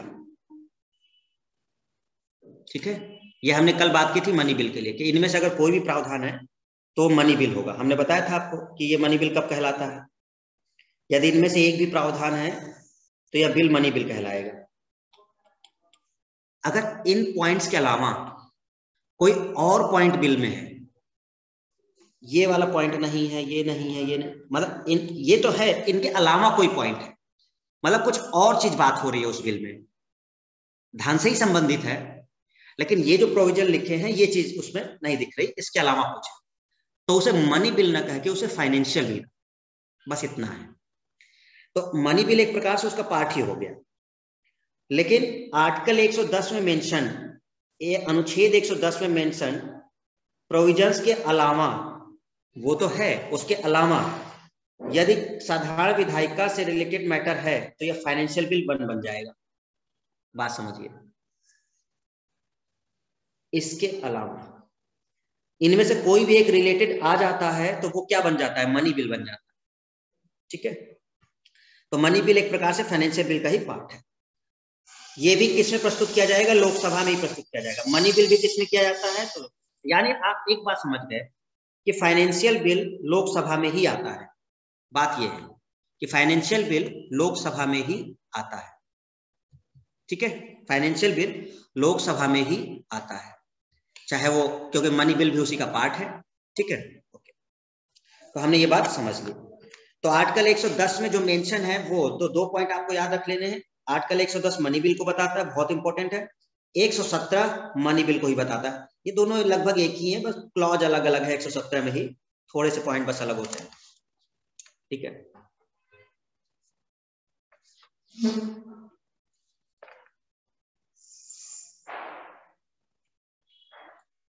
फाइनेंशियल बिल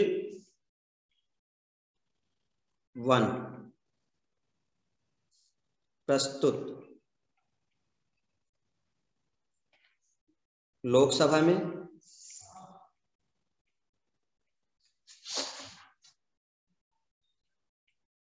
ठीक है।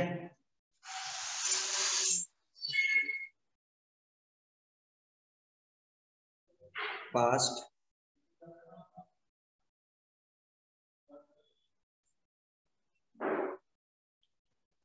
राज्यसभा में।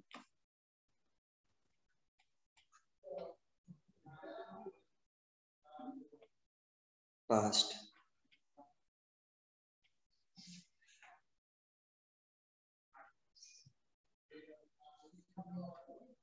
प्रेसिडेंट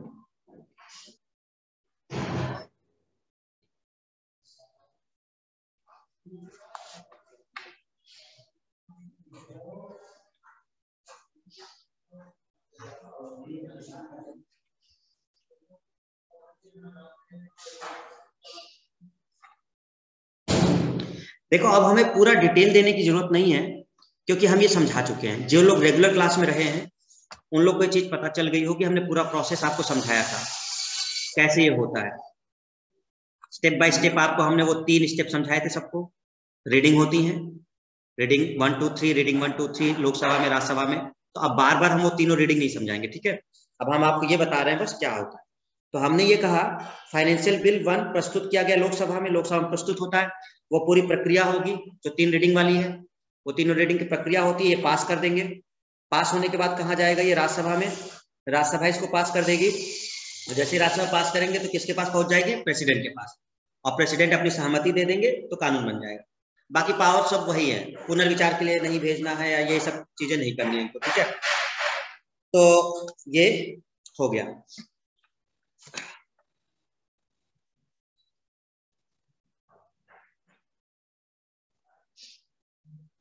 एक कंडीशन और होता है।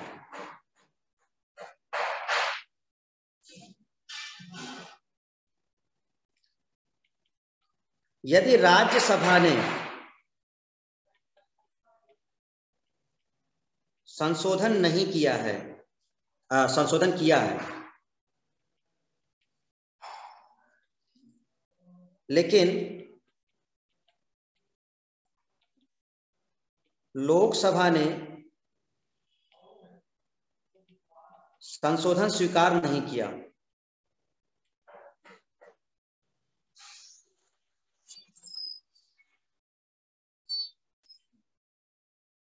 तो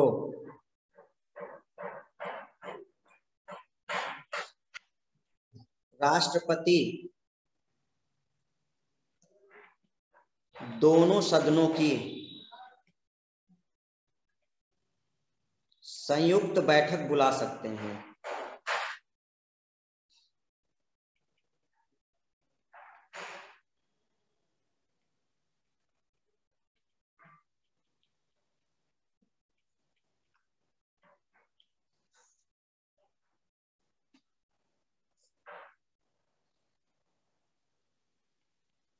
वोटिंग होगी।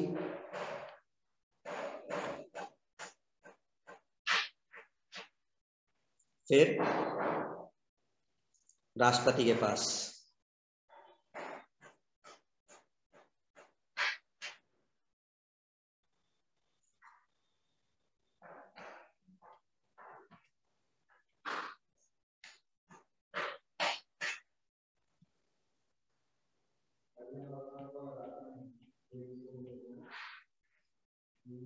सहमति के लिए।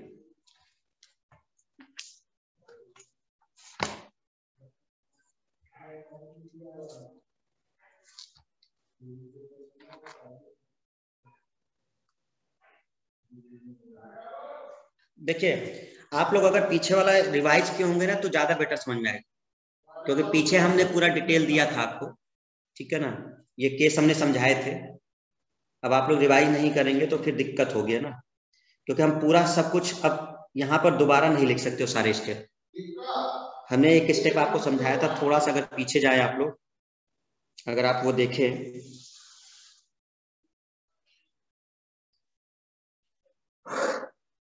ये वाला पॉइंट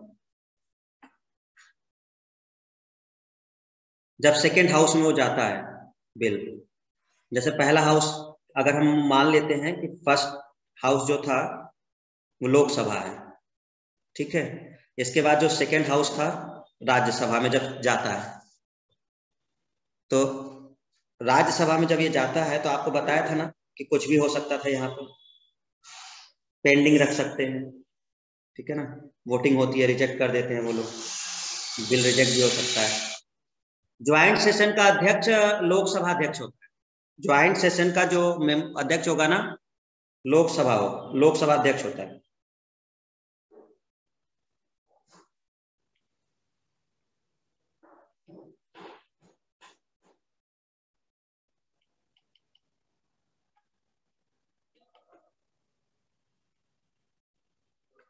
लोकसभा अध्यक्ष होगा। ध्यान रखिएगा। ये लोकसभा अध्यक्ष। देखिए, बाकी सब तो ठीक चल रहा है। क्या चल रहा है? कि फाइनेंशियल बिल में ये लोकसभा में प्रस्तुत किया गया, लोकसभा ने पास कर दिया, राज्यसभा में पहुँचा। अगर राज्यसभा ने पास कर दिया इसे, और प्रेसिडेंट के पास गया, सहमति कानून बन गया, लेकिन राज्यसभा कभी कभी क्या करता है? संशोधन कर देता है। तो राज्यसभा ने कुछ संशोधन के लिए बोला है, पास करने से पहले। तो संशोधन के लिए करके वो फिर वापस यहाँ भेजा करता है राज्यसभा ठीक है? तो अब लोकसभा के पास जब वो जाता है, पास करने से पहले तो लोकसभा कहता है कि मैं आपका संशोधन स्वीकार ही नहीं कर रहा। मैं नहीं मान रहा आपके संशोधन। ये है दिक्कत। तो अब लोकसभा ने तो पास कर दिया था। राज्यसभा गया, राज्यसभा ने पास नहीं किया। उसने संशोधन के लिए भेज दिया। उसने रिकमेंडेशन कर दी कि आप इसमें जो संशोधन किए हैं, उसको करिए। बट लोकसभा कहता है कि हम नहीं करेंगे संशोधन। आपकी रिकमेंडेशन हम नहीं मानने वाले। तो अब क्या होगा? तो अब फंस गया मामला। तो इस मामले में राष्ट्रपति को पावर दी गई है। राष्ट्रपति को यह पावर दी गई है कि अगर ये बिल बहुत ज़रूरी है और इसको पास करना ही करना है तो राष्ट्रपति क्या करे कि दोनों सदनों की संयुक्त बैठक बुला ले। मतलब लोकसभा की भी और राज्यसभा की भी। जब इन दोनों की संयुक्त बैठक होगी और इसकी अध्यक्षता लोकसभा अध्यक्ष करेंगे तो अब वोटिंग जब होगी तो दोनों को मिलाकर होगी। लोकसभा और राज्यसभा दोनों को मिला के वोटिंग होगी। मेजोरिटी किसकी होती है? लोकसभा में जो गवर्नमेंट के आदमी हैं, भाई, हमारी बात समझो। अगर संयुक्त बैठक हुई, मान लो संयुक्त बैठक हुई तो 543 तो लोकसभा में है और लगभग 245 है राज्यसभा में।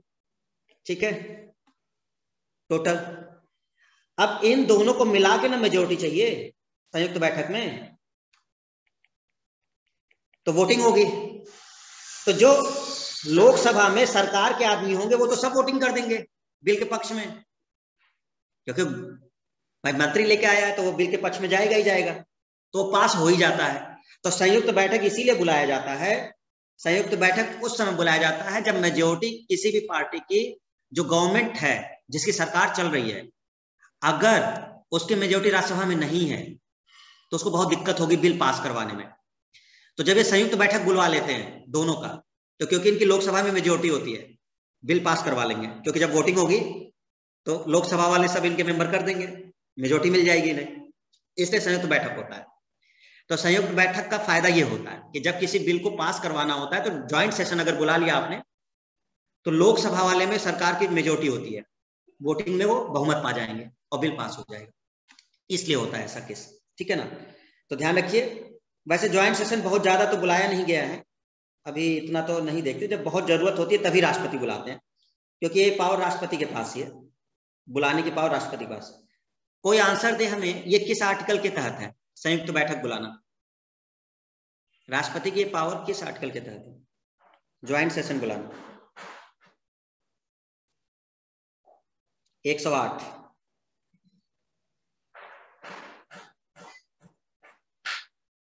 करेक्ट ठीक है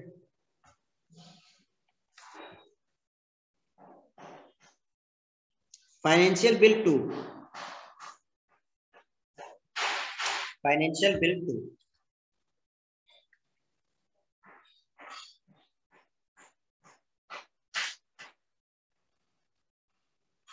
clause three यदि बिल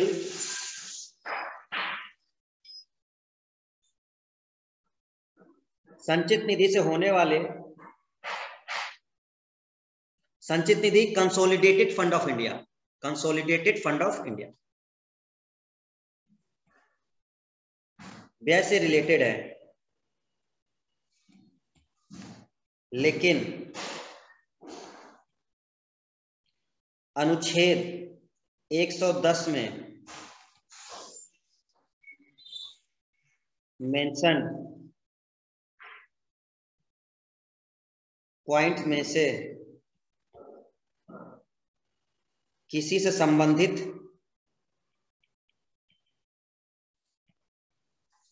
नहीं है तो यह बिल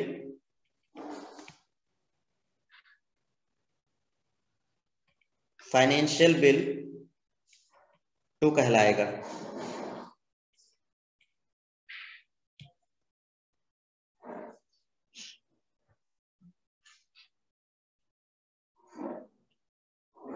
इसकी प्रोसेस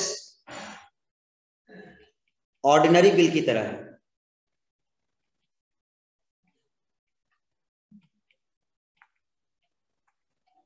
ध्यान रखिएगा, जिन लोगों ने ऑर्डनरी बिल नहीं पढ़ा है, वो अपना रिवाइज कर लें। ये पूरी प्रक्रिया ऑर्डनरी बिल की है। तो यहाँ पर हम इसको रिवाइज रिपीट नहीं करेंगे, क्योंकि अगर आप ऑर्डनरी बिल को समझ जाएँगे तो इसकी प्रक्रिया समझ जाएँगे। ये हम बता चुके हैं। पूरा एकदम जैसा जैसा ऑर्डनरी बिल में होता है, वैसा ही यहाँ जैसा ऑर्डनरी बिल में होता है, वैसा ही यहाँ होगा। तो इसकी पूरी प्रक्रिया जो है वो ऑर्डनरी बिल की तरह फाइनेंशियल बिल टू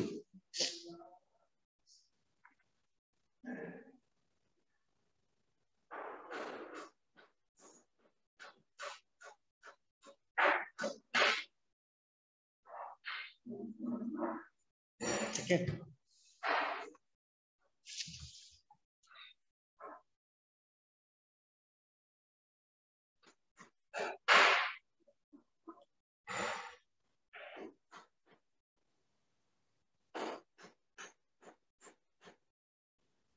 अब आपको हमने तीन पॉइंट्स बता दिए।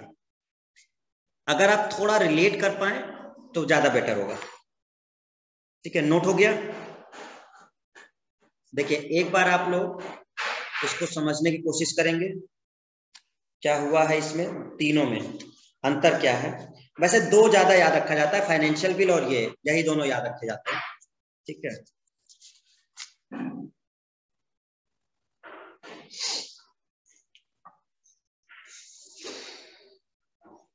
एक हमने बात किया मनी बिल देखो, हम समझाते हैं थोड़ा सा।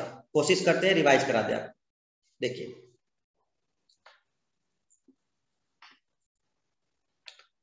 जो मनी बिल है है ये फाइनेंशियल बिल ही।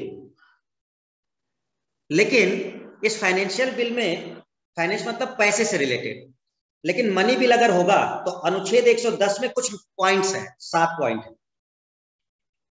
इन सात पॉइंट में से कोई एक पॉइंट इसमें होना चाहिए। तभी ये मनी बिल होगा। क्लियर लेकिन अगर वो पॉइंट्स नहीं के बराबर हैं और 110 में मेंशनड प्रोविजंस के अलावा यदि साधारण विधायिका से रिलेटेड मैटर है तो ये फाइनेंशियल बिल बन जाएगा। मतलब मनी बिल में इन सात पॉइंट में से ही कोई होना चाहिए। ध्यान रखिए, इनसे ही रिलेटेड कोई पॉइंट होना चाहिए, इसके अलावा नहीं। नहीं तो फिर वो फाइनेंशियल बिल कहलाएगा। और फाइनेंशियल बिल जो 117 में है, उसमें 110 में जो मेंशन प्रोविज़न है, जो सात प्रोविज़न है, उनके अलावा, उनमें से कोई एक हो सकता है, लेकिन उनके अलावा अगर और भी कोई मैटर है इसमें, और भी कुछ बता दिया गया है, कोई और हो सकता है पैसा से रिलेटेड कोई मैटर रहा हो तो फिर ये फाइनेंशियल बिल बन बन जाता है। ठीक? मतलब 110 में मेंशन कुछ पॉइंट्स तो हैं ही। इसमें कुछ पॉइंट्स देखो, आप समझ पा रहे हो तो हमें क्लियर समझना। इन एक, इस, इसमें सात में से कोई एक होना चाहिए। सात में से कोई एक प्रोविज़न होना चाहिए। ठीक है? और यही होना चाहिए बस। इसके अलावा इस बिल में और कुछ नहीं होना चाहिए। ध्यान रखिएगा। मनी बिल के केस में इन सात में से कोई पॉइंट अगर है तो बेटर है। दो हो, तीन हो, कोई दिक्कत नहीं है। लेकिन इनके अलावा कोई मैटर ना हो। क्योंकि अगर 110 में मेंशन किसी और पॉइंट के अलावा कुछ है उसमें तो फिर वो मनी बिल नहीं बनेगा। वो फाइनेंशियल बिल बन जाएगा। यानी कि इन पॉइंट्स में से कुछ और भी है आपके पास और साथ में कुछ और लिख दिया है आपने। तो मनी बिल की कैटेगरी से बाहर हो जाएगा वो। वो फाइनेंशियल बिल की कैटेगरी में ही रहेगा। ये है पॉइंट फाइनेंशियल बिल टू जब कहा जाता है तो वो संचित निधि से रिलेटेड है। कि संचित निधि से होने वाले व्यय से रिलेटेड है ये। और अनुच्छेद 110 में मेंशन पॉइंट में से किसी से संबंधित नहीं है। मतलब एक भी पॉइंट यहाँ पर नहीं है। देखिए, इसमें 110 वाले में से कोई एक पॉइंट हो सकता है। और उसके साथ कोई और मैटर भी हो सकता है। हेलो इसमें 110 वाले का भी एक पॉइंट हो सकता है, और भी मैटर हो सकता है। मनी बिल में केवल वही मैटर होंगे जो 110 में मेंशन है। मनी बिल में केवल वही मैटर होंगे जो 110 में मेंशन है। इन सात में से कोई भी है। लेकिन फाइनेंशियल बिल बनने के लिए 110 में से कोई पॉइंट तो है ही, साथ में कुछ और भी है उसमें तो फाइनेंशियल बिल है। लेकिन फाइनेंशियल बिल टू, संचित निधि से रिलेटेड है। बस ये है। संचित निधि कितनी बार समझा है भाई? कंसोलिडेटेड फंड ऑफ़ इंडिया कितनी बार हम रिपीट कर चुके संचित निधि वो फंड होता है जिससे सैलरी दी जाती है। राष्ट्रपति की उपराष्ट्रपति की आपके और फिर उसके बाद राष्ट्रसभा के सभापति, वही मतलब सभापति की, सुप्रीम कोर्ट के जजेस की, बहुत बार हम रिपीट कर चुके हैं इसे।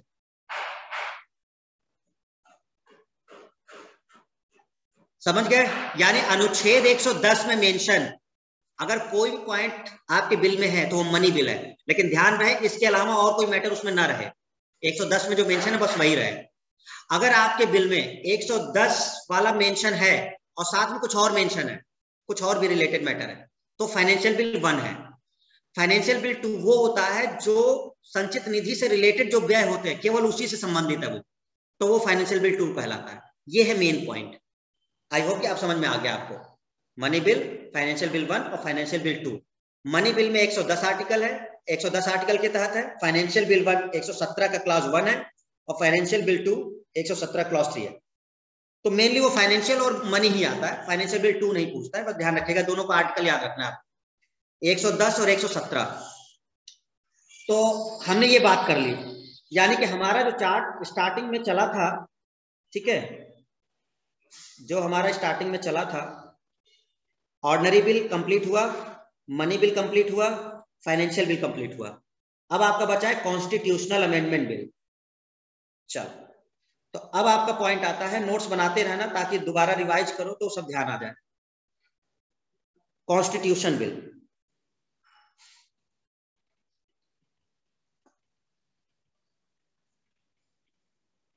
संविधान संशोधन विधेयक।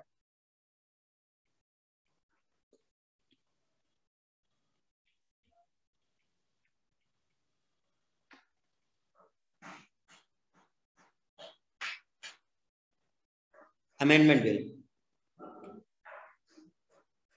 constitutional amendment bill ठीक है? बस थोड़ा सा इसके बारे में देख लेते हैं स्टार्ट कर लेते हैं, बाकी हम लोग डिस्कस करेंगे।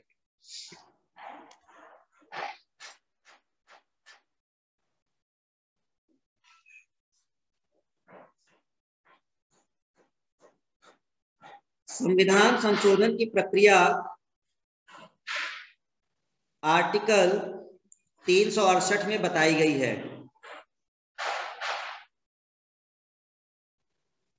आर्टिकल तीन सौ अड़सठ में बताई गई है। इसके लिए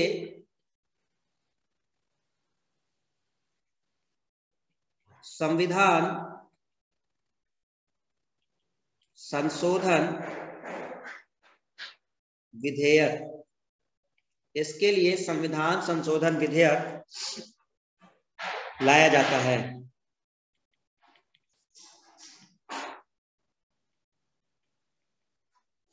इसके लिए संविधान संशोधन विधेयक लाया जाता है। यानी कि अगर कोई भी संशोधन आपको करना है तो उसके लिए संविधान संशोधन विधेयक लाना होगा। ठीक है?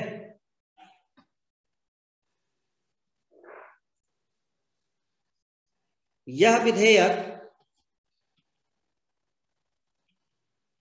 किसी भी हाउस में लाया जा सकता है।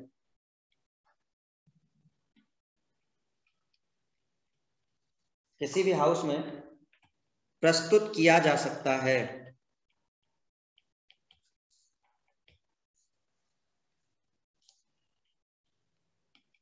इस विधेयक को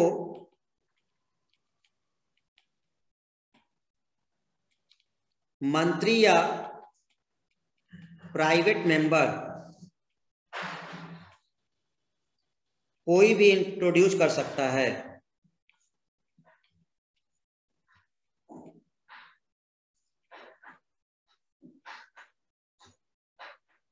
कोई भी इंट्रोड्यूस कर सकता है।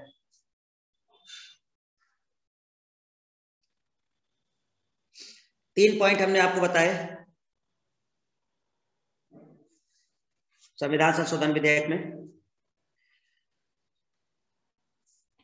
संविधान संशोधन की प्रक्रिया आर्टिकल तीन सौ अड़सठ में है। इसके लिए अगर हमें कोई संविधान में संशोधन करना है तो हमें एक विधेयक लाना होगा। उस विधेयक को कहते हैं संविधान संशोधन विधेयक। यह विधेयक किसी भी हाउस में प्रस्तुत किया जा सकता है। लोकसभा या राज्यसभा में से कोई भी। इस विधेयक को कोई भी ला सकता है, मंत्री या प्राइवेट, चाहे वो सरकार में मंत्री हो, चाहे वो कोई प्राइवेट मेंबर हो, कोई भी ला सकता है संविधान संशोधन विधेयक। ठीक है? ये कोई डाउट भी किसी को नहीं होना चाहिए। तो तीन पॉइंट हमने बताया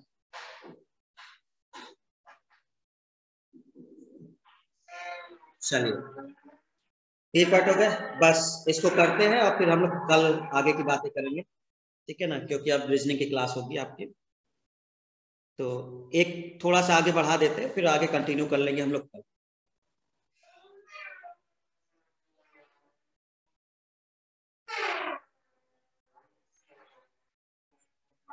इंट्रोड्यूस द बिल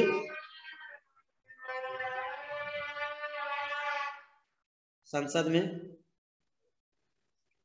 ठीक है?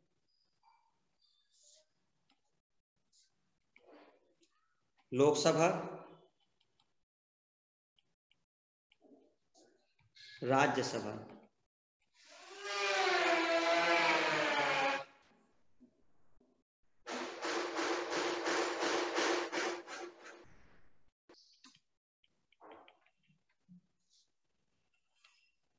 स्पेशल मेजोरिटी से पास होना चाहिए।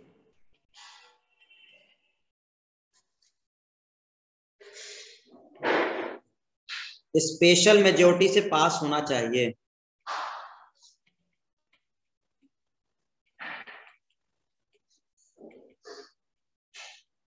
स्पेशल मेजोरिटी मतलब विशेष बहुमत। मतलब आप समझिए, हम क्या कहना चाह रहे हैं? लोकसभा से भी स्पेशल मेजोरिटी से पास होना चाहिए और राज्यसभा से भी स्पेशल मेजोरिटी से पास होना चाहिए। दोनों से विशेष बहुमत से ही पास होना चाहिए, ये अलग अलग क्यों? क्योंकि एक इंपॉर्टेंट पॉइंट है नोट में।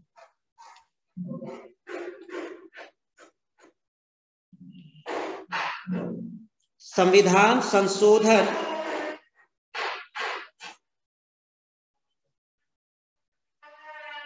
विधेयक के केस में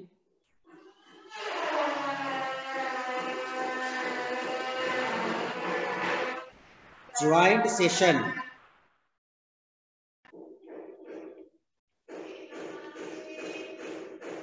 का प्रावधान नहीं है। अतः दोनों सदनों से अलग अलग विशेष बहुमत से पास होना चाहिए।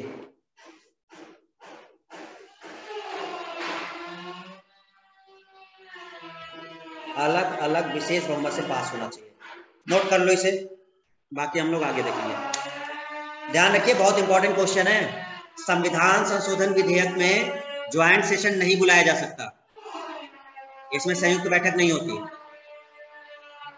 संविधान संशोधन विधेयक में ज्वाइंट सेशन नहीं होता। तो यहाँ संयुक्त बैठक का कोई प्रावधान नहीं है। दोनों सदन से ये अलग अलग पास होना चाहिए। विशेष बहुमत से होगी। अभी हम बताएँगे आपको विशेष बहुमत क्या होता है।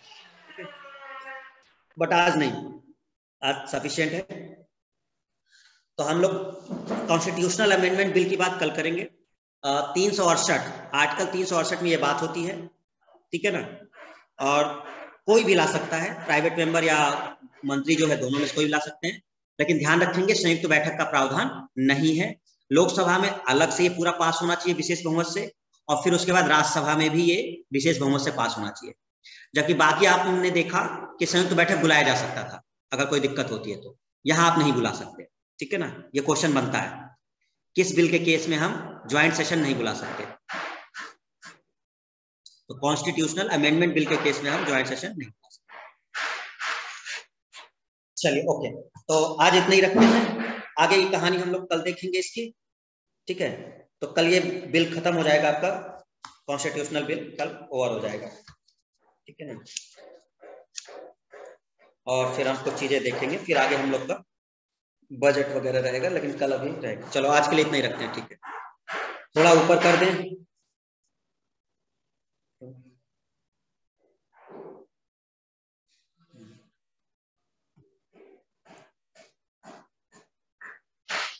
क्या कह रहे हो? ट्वेंटी सिक्स क्या?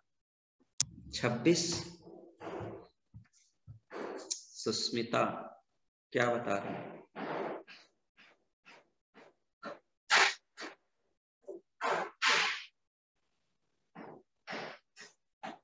सर, कल का पॉलिटी का वीडियो अपलोड करवा दी अच्छा कल का वीडियो अपलोड कर ठीक है।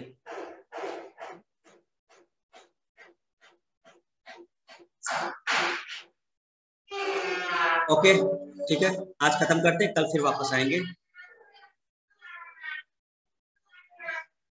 रीजनिंग में आपका ब्लड रिलेशन चल रहा है, ठीक है ना?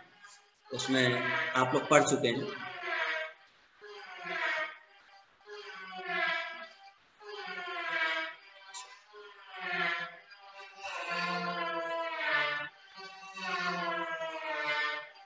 कुछ कंफ्यूजन है। क्या कंफ्यूजन है, राम बस दस मिनट में स्टार्ट होगा। बस दस मिनट में स्टार्ट हो जाएगा।